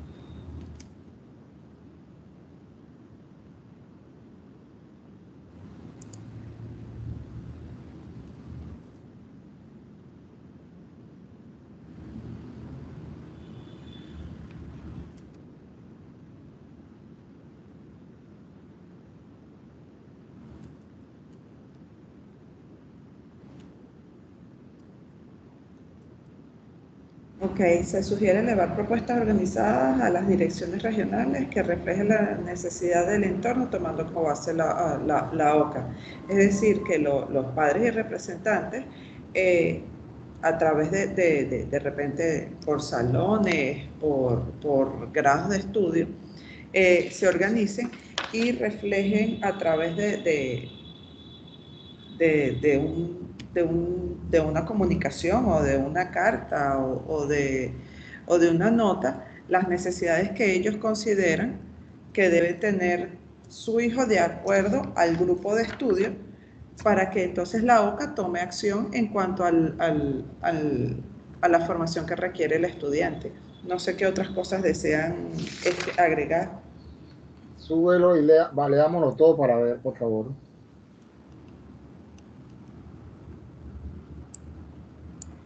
¿Qué dice arriba? Arriba es el título.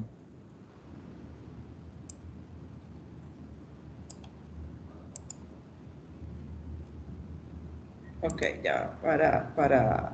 Creo que eso está en la parte de abajo.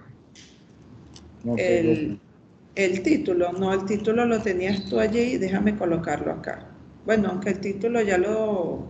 No, ponlo, ponlo para tenerlo completo, para visualizarlo. Ya déjame quitarle este fondo que no... Bueno, ni modo. Eh, título.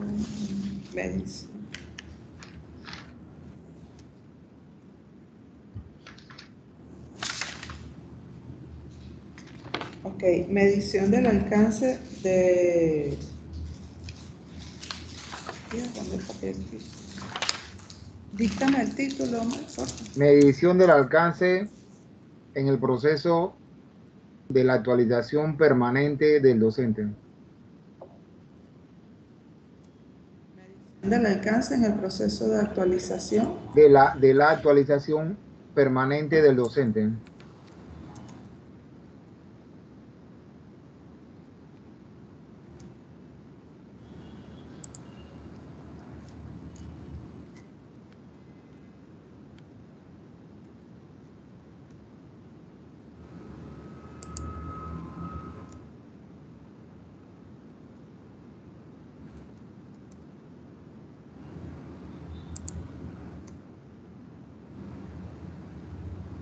Ok.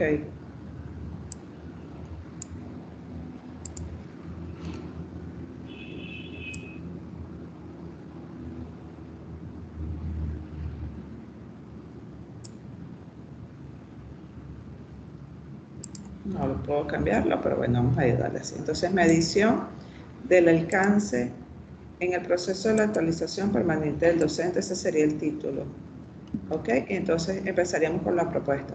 Se elevará propuesta al MEDUCA, la Dirección Nacional de Evaluación Educativa, para el desarrollo e implementación de un sistema de evaluación continua que garantice los derechos fundamentales del aprendizaje. ¿Está bien así? Mi opinión es que la leamos todas para después okay opinar o, concretarla para, porque si lo hacemos por pedazos, a lo mejor cuando veamos aquí está acá abajo también. Eso es lo que, esa es mi opinión. Listo. Procurar toca, perdón, toca a los comisionados las opiniones de ellos. Sí, Pero léela toda inicialmente.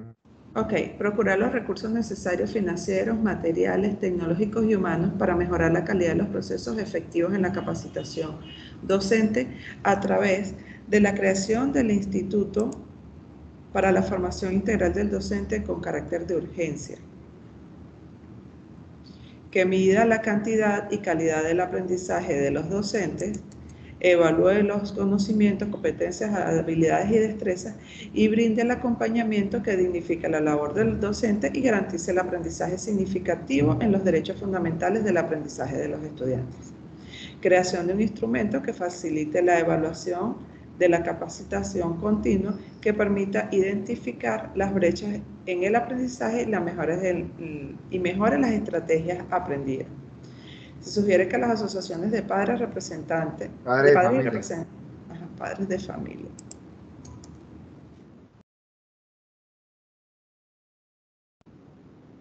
Representantes, docentes y comunidad educativa conozcan de la existencia de los acuerdos y normas vigentes relacionados al tema de aprendizaje. Y entonces allí mencionar los derechos fundamentales del aprendizaje. Se sugiere elevar propuestas organizadas a las direcciones regionales que reflejen las necesidades del entorno, tomando como base la COCA. Allí, allí donde dice, se sugiere que las asociaciones de padres de familia, pienso que también los directores deben estar allí, los subdirectores, los supervisores, deben formar parte de eso también. Ahí cuando hablan de representante, ¿a qué se refieren? Ella, ella significa acudiente aquí en Panamá, los representantes de estudiantes, sino el papá. Ah, ok. Padre de familia y representantes. Eh, ahí tenemos que poner a los, a, la, a los directivos, en general, los directivos como sí, directivos, porque ahí se incluye director y subdirector. Ajá creo que a los supervisores también se les tiene que dar su posición allí, ¿no?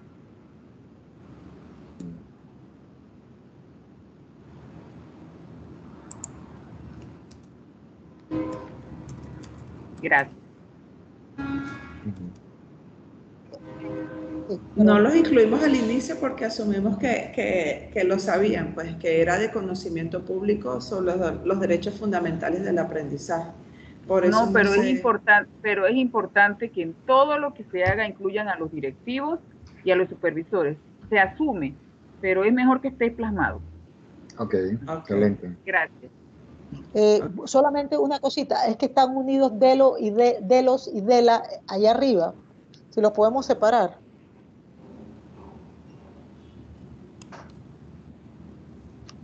Más arriba.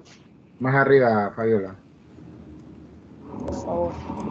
Sí, ahí, ¿verdad? Ah, y ahora sí me perdí yo.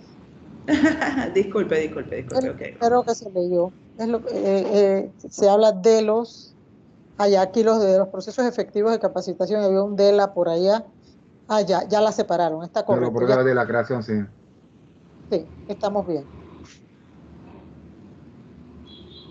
Ok, entonces eh, se sugiere que las asociaciones de padres de familia, directivos de escuelas, supervisores, docentes y comunidad educativa conozcan de la existencia de los acuerdos y normas vigentes relacionadas al tema de aprendizaje. Y entonces allí mencionamos los derechos fundamentales del aprendizaje. Yo, diría que al tema de aprendizaje, no, perdóneme, es que eso, eso al, eh, eh, al final ellos no tienen que ser pedagogos. Ellos lo que necesitan saber es qué necesitan saber sus niños. ¿Me explico? Hay que, hay, decir, hay que decirlo abiertamente, los derechos fundamentales de aprendizaje, porque después el padre de familia te va a decir, tú quieres que yo aprenda a ser maestro, eso no le toca.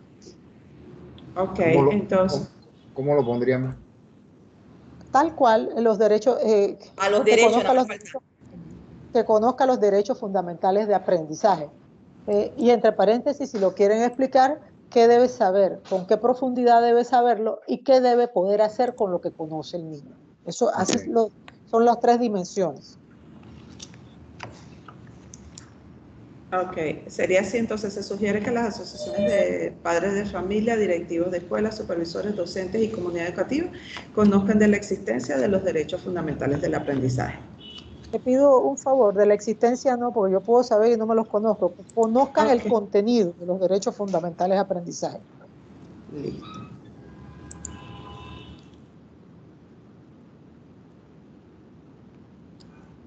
Y bueno, no sé, profesora Nivia, cómo usted ve, porque en la comunidad educativa nosotros aglutinamos a la Asociación de Padres de Familia, directivos y supervisores y docentes. Excelente, sí, es que eh, me parece muy bien, sí. Sí, ese término abarcaría todo, comunidad educativa. Es correcto, sí, la comunidad educativa, sí.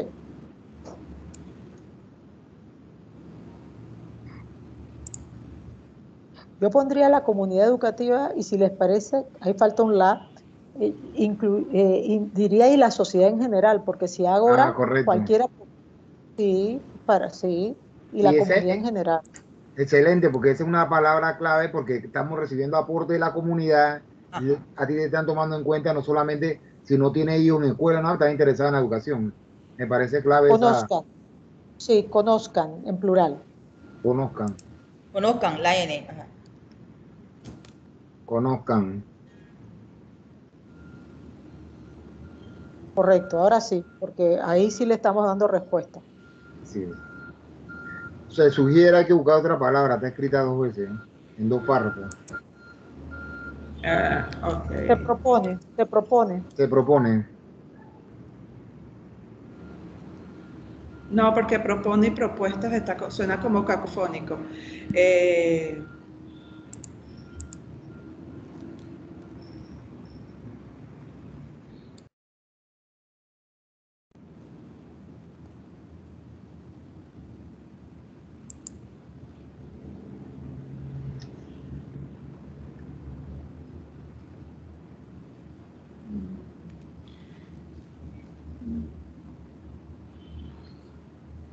creo que la profesora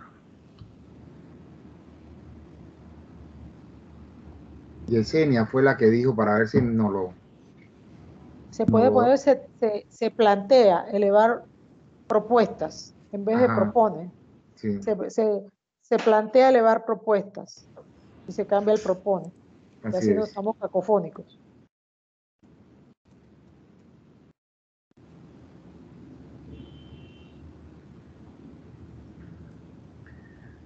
Yo creo que tenemos que escribir OCA, porque estamos, estamos escribiendo al, público, primero poner la, qué significa OCA y poner entre paréntesis OCA, si le parece. Ok, la OCA significa...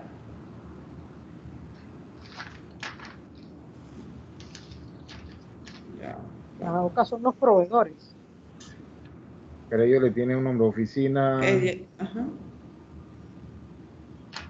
Lo comentaron la semana pasada, pero no, no alcancé a...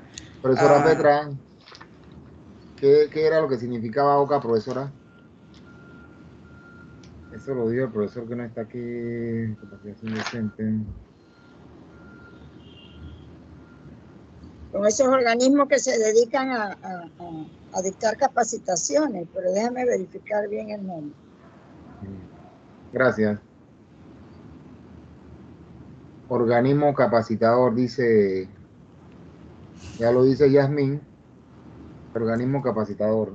yo diría que lo pongan mejor como, eh, como base la oficina capacitadora, no, eh, tomando como base, es que eso está, perdón, es que eso no lo comprendo.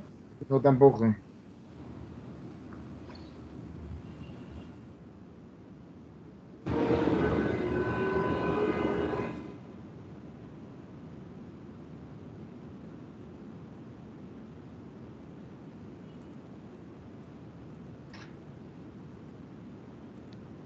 Permítame un minuto que voy a atender una cosa y regreso enseguida. Sí, disculpen, es que yo pienso que es al revés. las OCA tienen que plantear, eh, ellos tienen que ajustarse. Eh, sí, eso, eso mismo pensé yo, porque nosotros, ellos son un proveedor.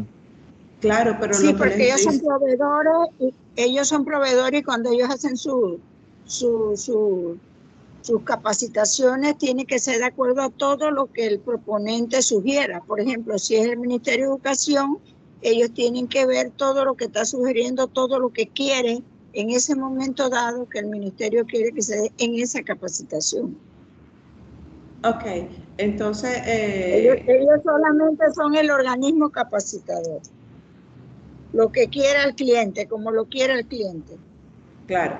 Eh, la, visión es que el, eh, los padres de familia ¿verdad? Eleven propuestas, bien sea a las direcciones organizadas, perdón, los padres eh, de manera organizada eleven propuestas, bien sea a las direcciones de las escuelas o a las direcciones regionales, ¿verdad? Donde reflejen la necesidad del entorno en el que están sus hijos y que toman, tomando como base los distintos entes encargados de la formación, es decir, que, ellos conozcan de que hay un ente encargado y que se puedan sentar ellos con el ente y explicarle a través de, o bien sea las direcciones generales, o sea, que haya una comisión como tripartita, o sea, que estén los entes que se encargan de, dar la, educación, esté el Meduca como mediador y estén los padres de familia o las asociaciones organizadas de,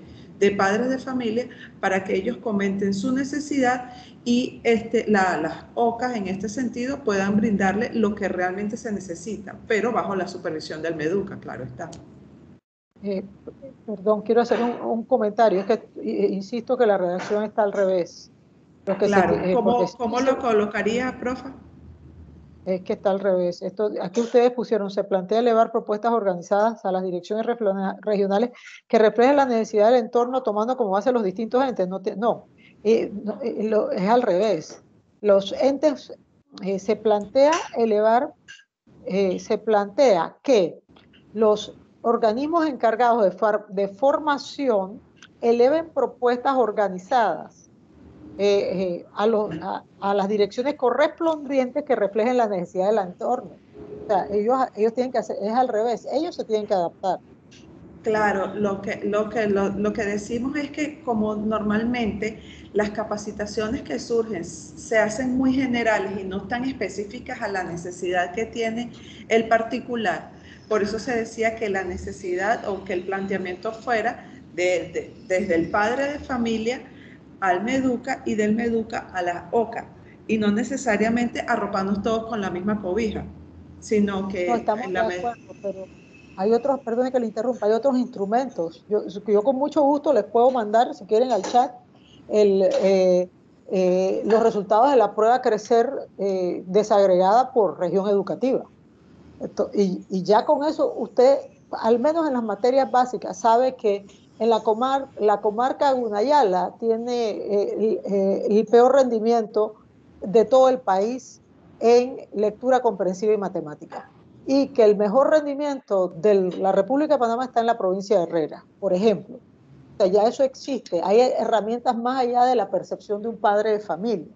Porque acuérdense que ahí eh, porque el derecho fundamental de aprecio, o sea, tendríamos que buscar un ¿cómo decirle? Un, un parámetro de referencia técnico, además de la opinión de los padres de familia, que puede ser considerada, debe ser considerada, pero hay parámetros técnicos para determinar las necesidades de capacitación. Ok, entonces vamos a colocar acá, de acuerdo a lo que está diciendo la profesora Nivia, ¿verdad? Este, se plantea Por eso decíamos hace un rato que se formulen propuestas de capacitación contextualizada, de acuerdo a esa necesidad del, por región educativa, porque como lo, de acuerdo la profesora Nivia, es correcto, eh, eh, la comarca están los, por debajo de todos los indicadores y de todos los porcentajes versus a Herrera o versus a Panamá Oeste, que también sacó una, una, ponderación bien alta, pero hay que ver los contextos, son diferentes. Entonces, ¿cómo se capacita o cómo nosotros podemos brindarle eh, a ese docente o a ese conglomerado docente capacitaciones de acuerdo a ese contexto, que es diferente al contexto de acá de San Miguelito? Entonces, en San Miguelito, los docentes tienen que prepararse de acuerdo a, a, estas, a estos estratos vulnerables, igual que Panamá y Colón, que estamos trabajando con otro tipo de, de, estudiantes y que tenemos que tratar de motivarlos, pero si el, docente tiene toda la parte pedagógica y toda la formación, pero ¿dónde está careciendo? En la metodología y los recursos activos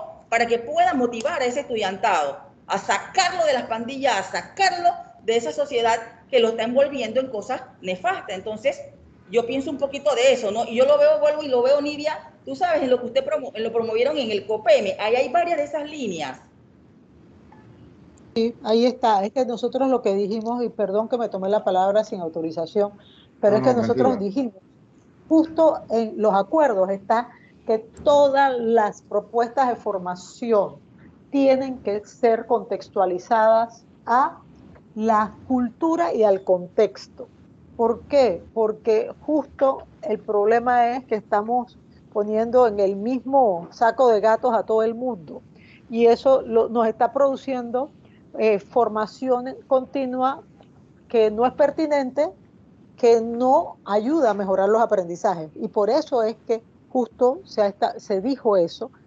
Y, y, lo que hablamos de desarrollo integral, porque acá un, una persona que me antecedió dijo algo muy valioso. Tú puedes, que fue Kevin, precisamente como estudiante, hizo un comentario. Pueden saber muchísimo de química, pero si no tiene inteligencia emocional, eh, no va a lograr aprendizajes de los estudiantes. Más bien lo van a rechazar. Entonces sí, sí debe haber ese, ese enfoque, eh, incluso conociendo las culturas, especialmente si vas a áreas eh, vulnerables, si vas a áreas de difícil acceso, si vas a áreas marcadas por violencia no es la misma actitud de otro tipo de regiones, por ejemplo, eh, en, el área de Azuero. Entonces sí tiene que ser contextualizado. Ok, entonces, ¿cómo, cómo le pudiésemos eh, colocar a ese ciudadano de a pie que hizo su, su, su, aporte, donde le estaba, le estaba diciendo de que, de que su hijo o o el docente que atiende a su hijo no, no está capacitado y que él quisiera saber cómo puede ayudar. A ver. Eso eh, si usted quiere esa solución, mire que va por otro lado. Es por escuela para padres. Es que, por, es, que, es, que, escuela para para enseñarles entonces cómo participar en la escuela, cómo, cómo eh, comprobar que hay aprendizaje, cómo eh, eh, reforzar lo que han aprendido en la escuela. Estamos hablando de otra cosa, de otro tipo de involucramiento. Claro, Fabiola, es lo que, yo Fabiola, es lo que yo te comentaba antes, que no vamos a poder satisfacer a todas las personas que han hecho las propuestas, pero de manera general tenemos nosotros que concluir en, en cuestiones positivas como las que estamos hablando, que de una u otra manera las vean ellos positivas, pues, pero no vamos a poder llegar a darle respuesta a cada uno de los ciudadanos. Ok, entonces esta la, la eliminamos, la de elevar propuestas organizadas. O dejamos Perdón, de... que no, yo no le estoy viendo. ¿Cuál es el de las propuestas organizadas? Ok, eh, habíamos colocado, se plantea elevar propuestas organizadas a, la, este, a las... Eh, Contextualizada, ¿no será? Es claro, lo que pasa...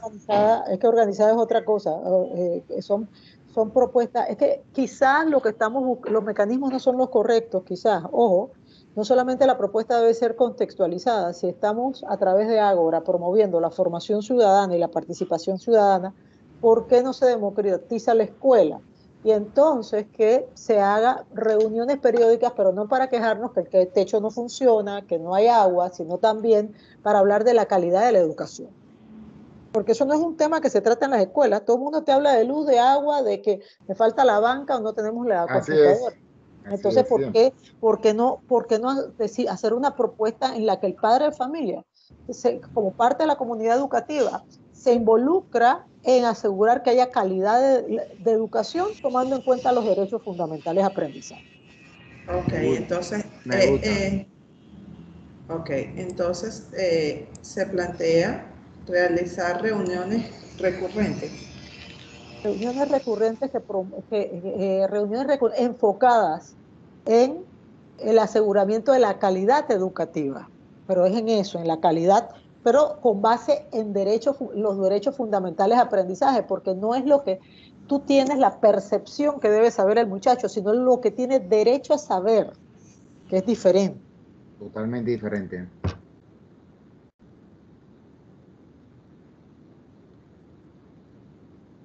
Y es importante ahora que acaba de decir Nidia, ayer había una, una, una noticia, creo que era el Fermino 2, y precisamente se enfoca en eso, no tenemos profesores. Pedimos al Ministerio que, cuestión, nadie habla de calidad. Yo le estoy enseñando por internet a mi hijo lo que debe saber. Entonces no es, no es eso, no es, no es calidad que, que le haga falta una banca, que le haga falta un, un gimnasio. Poco se reúne para, precisamente para eso. Y la otra parte es el involucramiento, como dicen, acaban de decir aquí. Debo involucrar porque yo pertenezco a la sociedad eh, educativa, independientemente tenga hijos o no tenga hijos, que de eso se trata esto de que qué educación vamos a tener a futuro de la sociedad. Ciertamente. Es que, es que la educación es un bien público. Eso es algo que la gente no entienda. Y público significa que todos debemos hacernos responsables de lo que ocurre en las escuelas. Así es.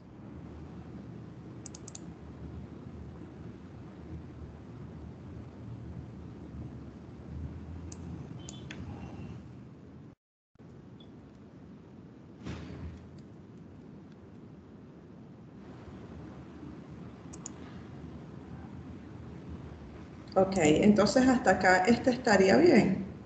Se plantea a la comunidad educativa realizar reuniones recurrentes enfocadas en el proceso de aprendizaje, partiendo de los derechos fundamentales del aprendizaje. Eh, eh, a ver, es que se plantea a la comunidad educativa, no. Se plantea que la comunidad educativa, no es a la comunidad educativa, se plantea que la comunidad educativa realice, eh, realice enfocadas no es en el proceso de aprendizaje, que estamos en, la calidad, no estamos hablando del proceso. Los muchachos no van, o sea, la, comunidad no verifica, el, proceso es, a ver, es el trayecto, el producto es la calidad. ¿Me explico? Sí. sí. Así mismo en la Calidad de los, en la calidad de los aprendizajes. De los aprendizajes. No es partiendo, enfocados. Enfocados. En los derechos. Sí, sí, enfocados. Es que arriba colocamos enfocadas. Ok. Eh, toma, toma, eh, ¿dónde, ¿dónde, pusimos enfocados, enfocadas eh, recurrentes? bueno, pongamos abajo en la calidad de los aprendizajes, en la calidad, tomando como referencia los derechos, tomando como parámetro de referencia los derechos fundamentales de aprendizaje.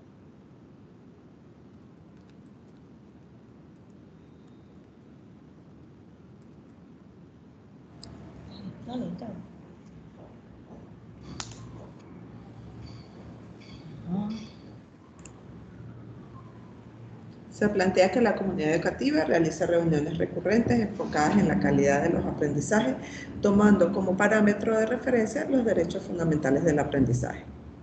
Sí, me parece bien, me parece bien, Irene, sí. Sí, ok. Entonces, eh, no sé, Omar, ¿qué me dices tú con estos, estos eh, cinco propuestas para iniciar el preacuerdo? Son cinco puntos de la preacuerdo.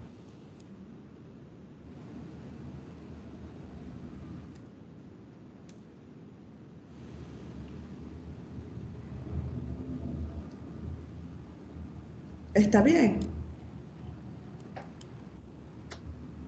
Súbela, súbela, vamos a, yo voy a leer todas, todos, que sería un preacuerdo que daría a los comisionados eh, agregarle, quitarle o dejarlo como está para ya ponerlo como un preacuerdo para la próxima sesión llegar al acuerdo, si no hay otro. Vamos a... Es el, título de la, de la propuesta, basado, tenemos que partir que está basado en, la, en los problemas y la propuesta de lo que hemos excluido como segundo nivel, que era la capacitación docente. El título es la medición del alcance en el proceso de la, de la actualización permanente del docente. ¿Qué propone la mesa? Elevar, ahí se, o se elevará propuesta al Ministerio de Educación, precisamente a la Dirección Nacional de Evaluación Educativa para el desarrollo e implementación de un sistema de evaluación continua que, que garantice los derechos fundamentales del aprendizaje. Súbelo, por favor. Voy a leerlo todo. Y hay que subirlo, va así. Procurar, esa palabra, procurar los recursos. Asegurar. Asegurar, sí. Asegurar, exactamente. Asegurar los recursos necesarios, ahí se lo ponemos la parte financiera, la parte material, tecnológica y humano, creo que Yamin dice que también se puede poner destinar, asegurar o destinar los recursos necesarios. Igual. Para mejorar la calidad de los procesos efectivos en la capacitación. Ahí sí me está moviendo la letra. Capacitación docente a través de la creación del, del instituto para la formación integral del docente con carácter de urgencia que mida la cantidad y calidad del aprendizaje del docente, evalúe los conocimientos, competencias, habilidades, súbelo,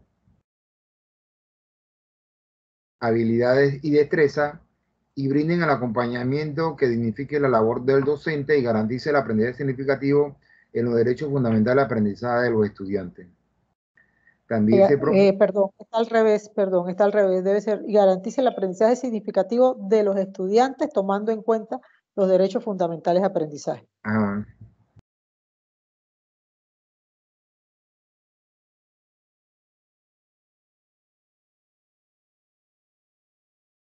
Tomando en cuenta.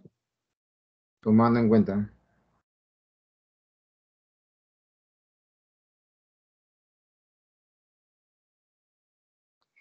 Y se sí, ahí está, sí, muy bien, derechos.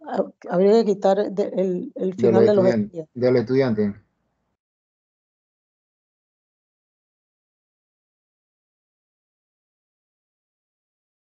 Correcto. Gracias. Le suelo. Creación de un instrumento que facilite la evaluación de la capacitación continua que permita que permite identificar la brecha en el aprendizaje y mejore la estrategia aprendida. Se sugiere que la comunidad educativa y la sociedad en general conozcan el contenido de los derechos fundamentales del aprendizaje y se plantea que la comunidad educativa realice reuniones recurrentes enfocadas a la calidad de los aprendizajes, tomando como parámetro de referencia los derechos fundamentales del, aprendizaje. No sé, dado no me, como que, que pareciera la misma. ¿Podemos leer la anterior? Sí, bájalo un poquito, Fabiola, o súbela así. Miren lo que dice, se sugiere que la comunidad educativa y la sociedad en general conozcan el contenido de los derechos fundamentales de aprendizaje. Abajo dice, se plantea que la comunidad educativa realice reuniones recurrentes enfocadas a la calidad de los aprendizajes, tomando como parámetro de referencia a los derechos fundamentales del aprendizaje. Eh, eh, pueden ir juntas, es que yo ¿Pueden ir juntas? sí, pueden ir juntas. Una junta Ay, ya, que, que aquí esto se me...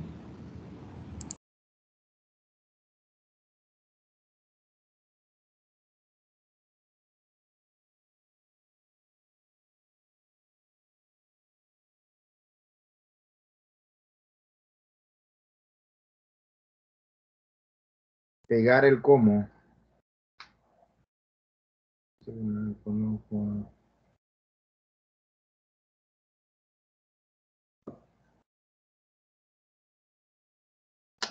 Ah, sí.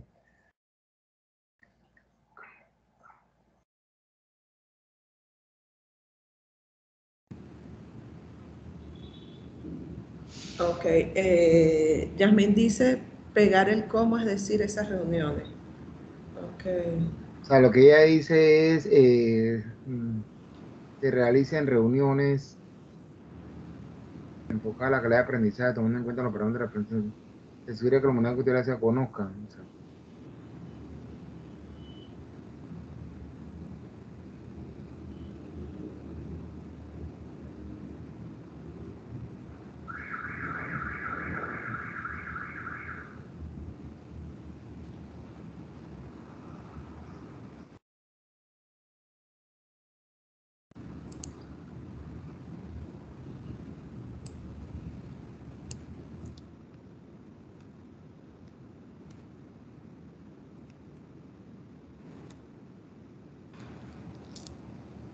Sugiere que la comunidad educativa y la sociedad en general conozcan el contenido de los derechos fundamentales y aprendizaje y realice reuniones recurrentes enfocadas a la calidad de los aprendizajes tomando como parámetro dichos derechos. Reuniones en el, centro para que no se vea algo macro. Ok.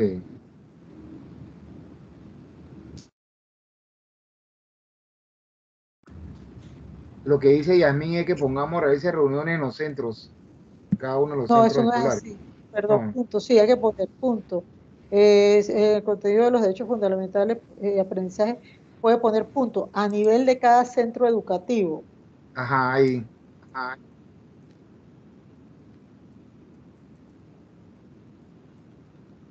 se, se, se plantea, se realicen reuniones recurrentes.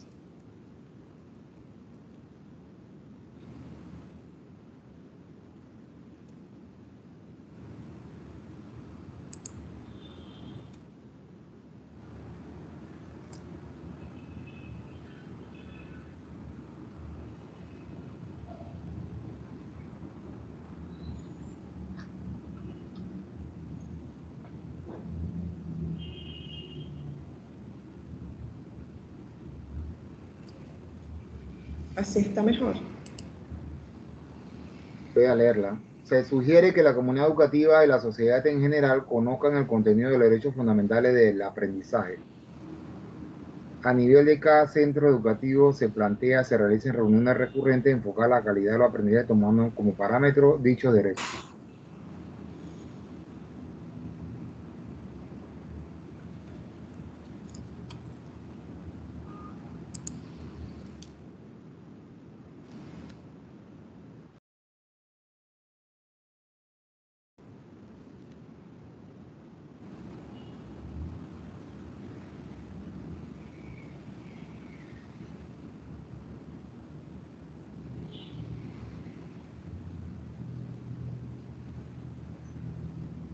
Ahora, esto lo que en la mesa... Eh, en reuniones recurrentes no puede ser reuniones periódicas. O ustedes ven bien recurrentes. o, eh, perdón, una sugerencia, no tienen que ser eh, que se, se podemos decir que a nivel de cada centro de educación se plantea se, se institucionalice llevar a cabo reuniones. Porque no es que te reúnes una vez y después se te olvidó. Una vez al año. Exacto. Que, sea, que, que se convierta, la calidad es un hábito. Entonces, institucionalizarlo debiera ser lo correcto.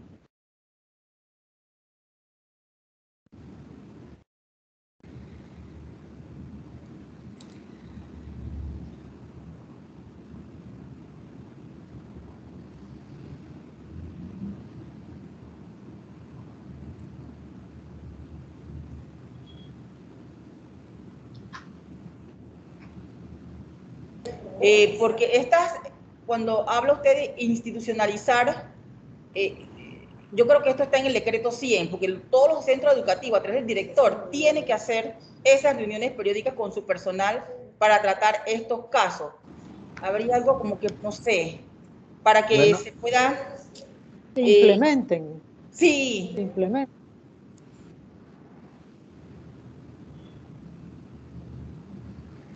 Es que, perdón que interrumpa, eh, lo que ella está diciendo es que ya está establecido y no se está haciendo. Eso es lo que entiendo. Sí, profe, eh, eso mismo. Lo que habría que hacer, lo que habría que ver es cómo hacer para eso que ya está y no lo estamos haciendo, cómo hacer para que se implemente en esta vuelta. Ciertamente. seguimiento para que eso sea recurrente y periódico y que se forme un hábito de un modo, una cultura, ¿no? Del, del centro la Cultura de la calidad. Ajá. Se plantea simplemente, se implemente llevar, ¿será? Llevar a cabo las, eh, las reuniones recurrentes establecidas, eh, establecidas en el decreto 100. ¿En qué decreto es? ¿Dónde está? En la normativa. En el decreto 100. Me gusta eso porque ya existe, como dice usted, lo que estamos diciendo. de los, de los directivos, de los directores. Entonces, yo pienso que es mejor, porque hay veces que se cree que hay que hacer la normativa y aquí hay sobre legalidad.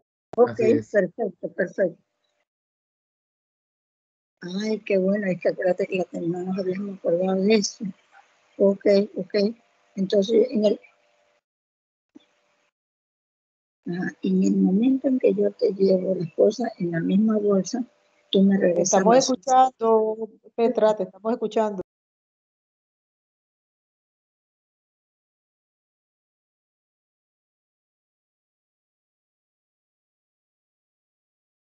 Disculpe, mi esposo está en el hospital y me está llamando que le lleve toalla limpia. okay. Esperemos que se mejore pronto. Sí, gracias.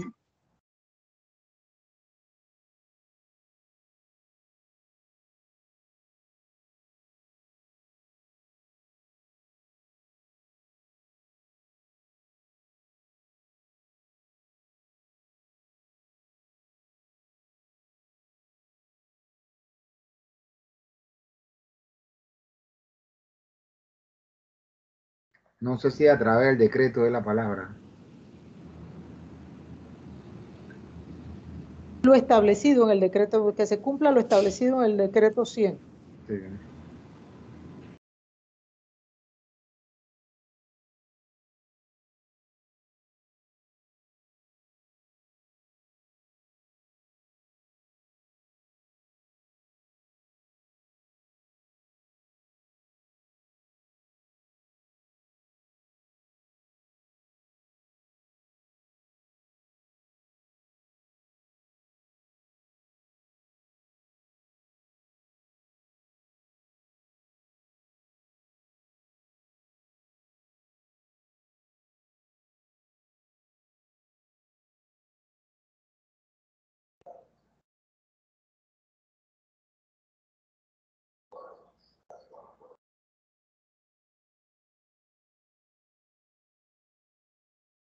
Que fue establecido en el decreto, no desde el acuerdo al decreto. Que den cumplimiento al establecido en el decreto número 100.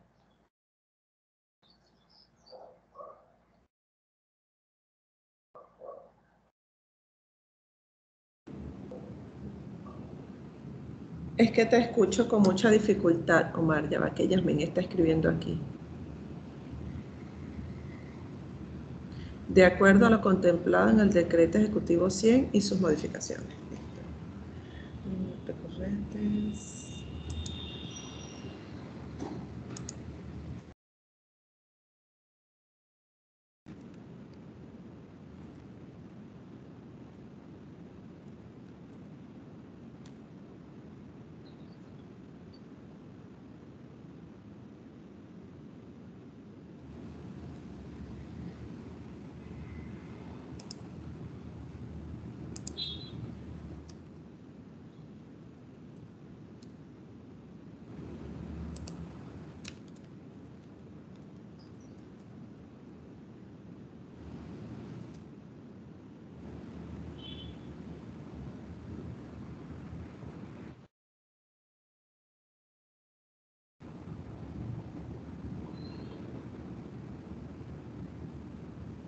Mejor. Voy a leerlo.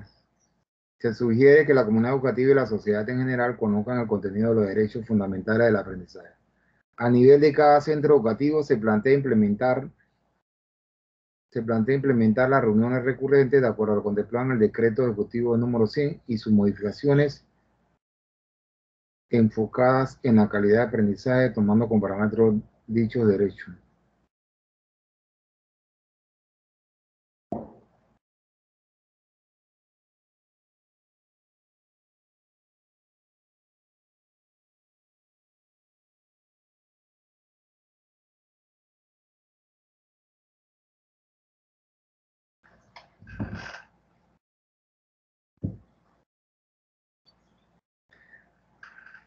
Algo que modificar o agregar en este preacuerdo.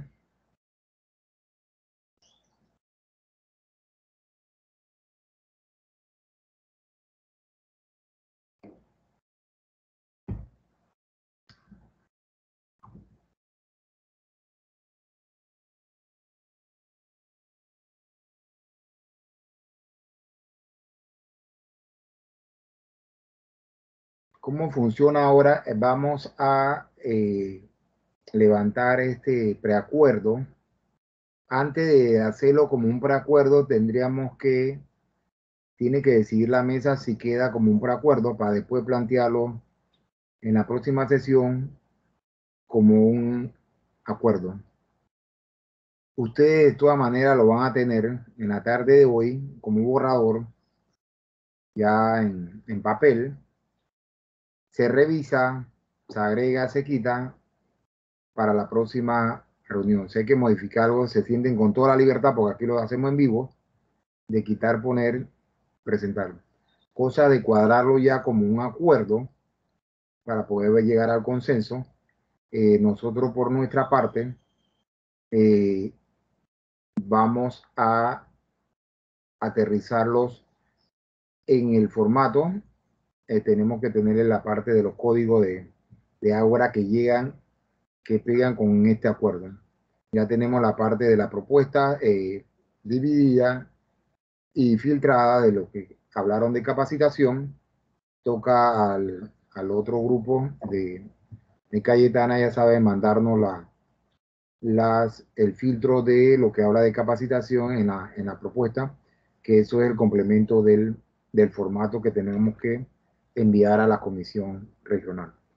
Así que nosotros queda en mandarle Fabiola y yo a este borrador. Ya le dije, siéntase en libertad de modificar, revisar.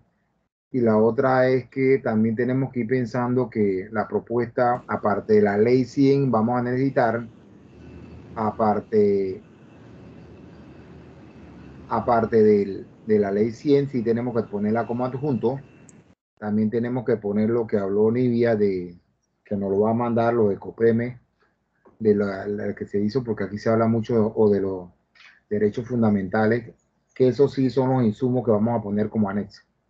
Acuérdense que la estructura del, de, de, la plataforma dice el título 27 palabras, el contenido de la propuesta 500 palabras. Pero primero vamos a revisarlo todo y después nos ponemos en ese, en ese formato de las 500 palabras que debe llevar la propuesta eh, eso independientemente de todo lo que tenemos aquí como insumo, lo que ha PRN, lo que tenemos nosotros y las leyes que puedan sustentar esta, esta propuesta. Así que para el viernes Dios mediante eh, debemos estar ya aterrizando la propuesta para mandarla a la parte regional. Ahí sí se necesita el consenso, eh, el 50 más uno de los, cada uno de los miembros de ustedes, de la comisión, para ponerlo ya como propuesta. Y eso es el trabajo de la mesa. Eso todavía no termina ahí.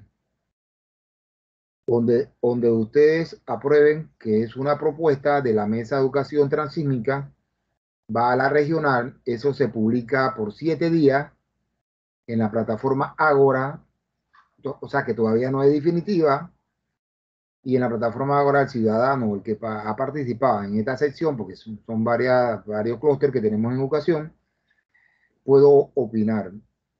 Las opiniones de, la, de, los participantes pueden ser eh, que modifiquen o no modifiquen, eso va a depender de ustedes, los comisionados, si dicen, el ciudadano ahora está opinando que, como dijo Fabiola, ahí no me tomaron en cuenta, yo quiero que tengan vocación.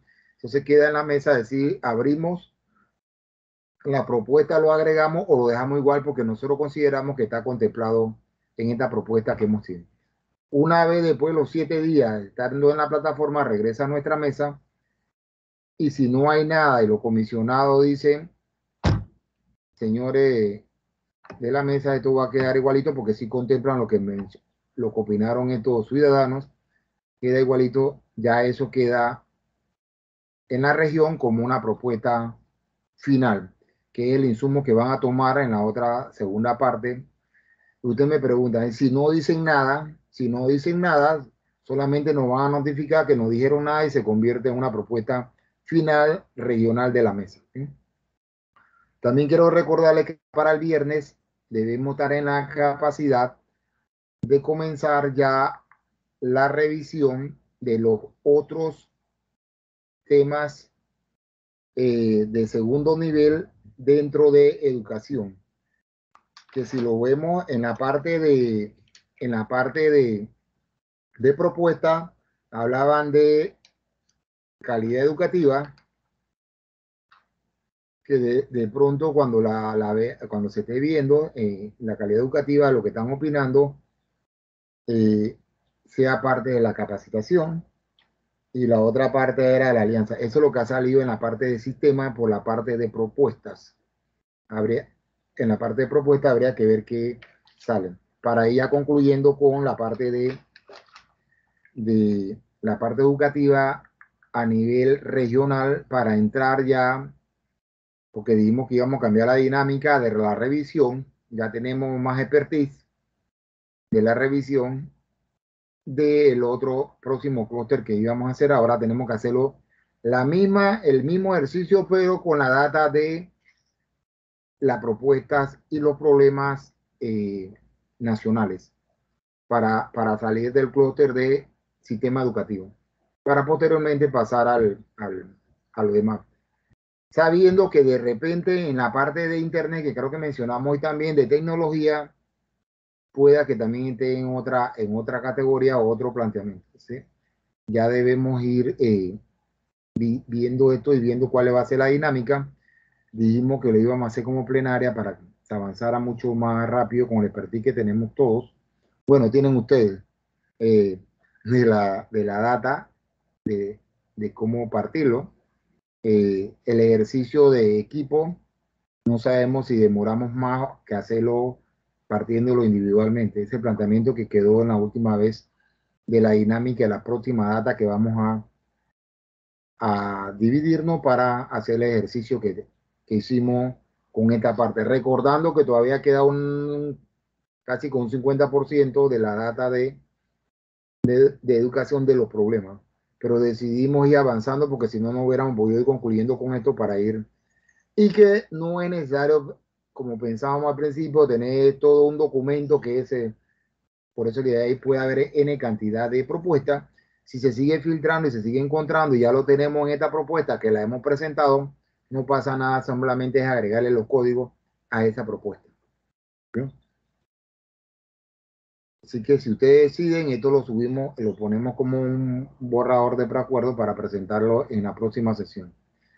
Eh, Nivia, sabemos que estás ocupada también, pero eh, las reuniones plenarias, que llamamos reuniones ya establecidas por el pacto, son los martes y los viernes de 8 a 2 y media. Eso no quiere decir que los comisionados se puedan reunir o pedir información con nosotros, conmigo y con Fabiola otros días, o que si quieren coordinar algo entre ustedes, están en la libertad.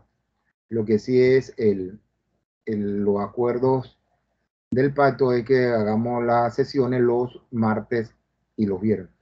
Dividimos en primera instancia en equipo para dividir la data, sobre todo en este clúster que estamos hablando de sistema educativo regional, lo dividimos en equipo, que a cada equipo le tocó una parte para ir depurando la información y eh, se reunían virtual, se pueden quedar aquí en, en, la, en la plataforma del, del pacto que es Team, o lo podían hacer eh, en forma individual cada equipo. Así que la, la proyección es que cada martes y jueves, y lo estamos haciendo así para ir avanzando porque realmente es mucha información y muchas cosas que abordar. Eh, y como bien dice Petra, que ya Petra lo primero quería, Yamín, estaban haciendo un trabajo titánico, dándole respuesta a cada uno de, de los problemas y la respuesta. Entonces, eh, es más que todo es algo consensuado y algo general dándole respuesta, o sea, porque sabemos que cada uno tiene su expertise, dice, esto tiene, yo voy a desarrollarlo. Se trataba de, de, de Muchos dijeron que ese filtro no lo hubiera hecho la tecnología ahora, pero realmente ya ellos hicieron el filtro a los diferentes clústeres y lo importante es que uno pueda leer para poder opinar como estamos opinando ustedes aquí. Así que, señores comisionados, no sé ustedes. Excelente, muchísimas gracias. Es, martes y viernes. Martes y viernes de 8 a 2 y media. Ay, muchas gracias, muy amables por la información. Dejé mi correo para que me envíen la información en el chat general porque no podía dejarlos en el chat acá y, eh, no vi no vi los números de teléfonos en el chat de ustedes. ¿Será que no los vi yo? No lo veo en el chat, ahí estaba mi correo, pero... ¿Cómo es su correo? ¿Es Nivia? Nivia con v, punto castrellón con doble L, arroba gmail.com.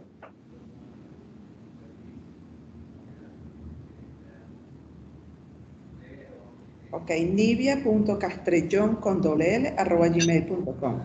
Es correcto. ¿Y su número telefónico? Ok, tengo, yo tengo, eh, a ver, para WhatsApp es el 60 90 47 10.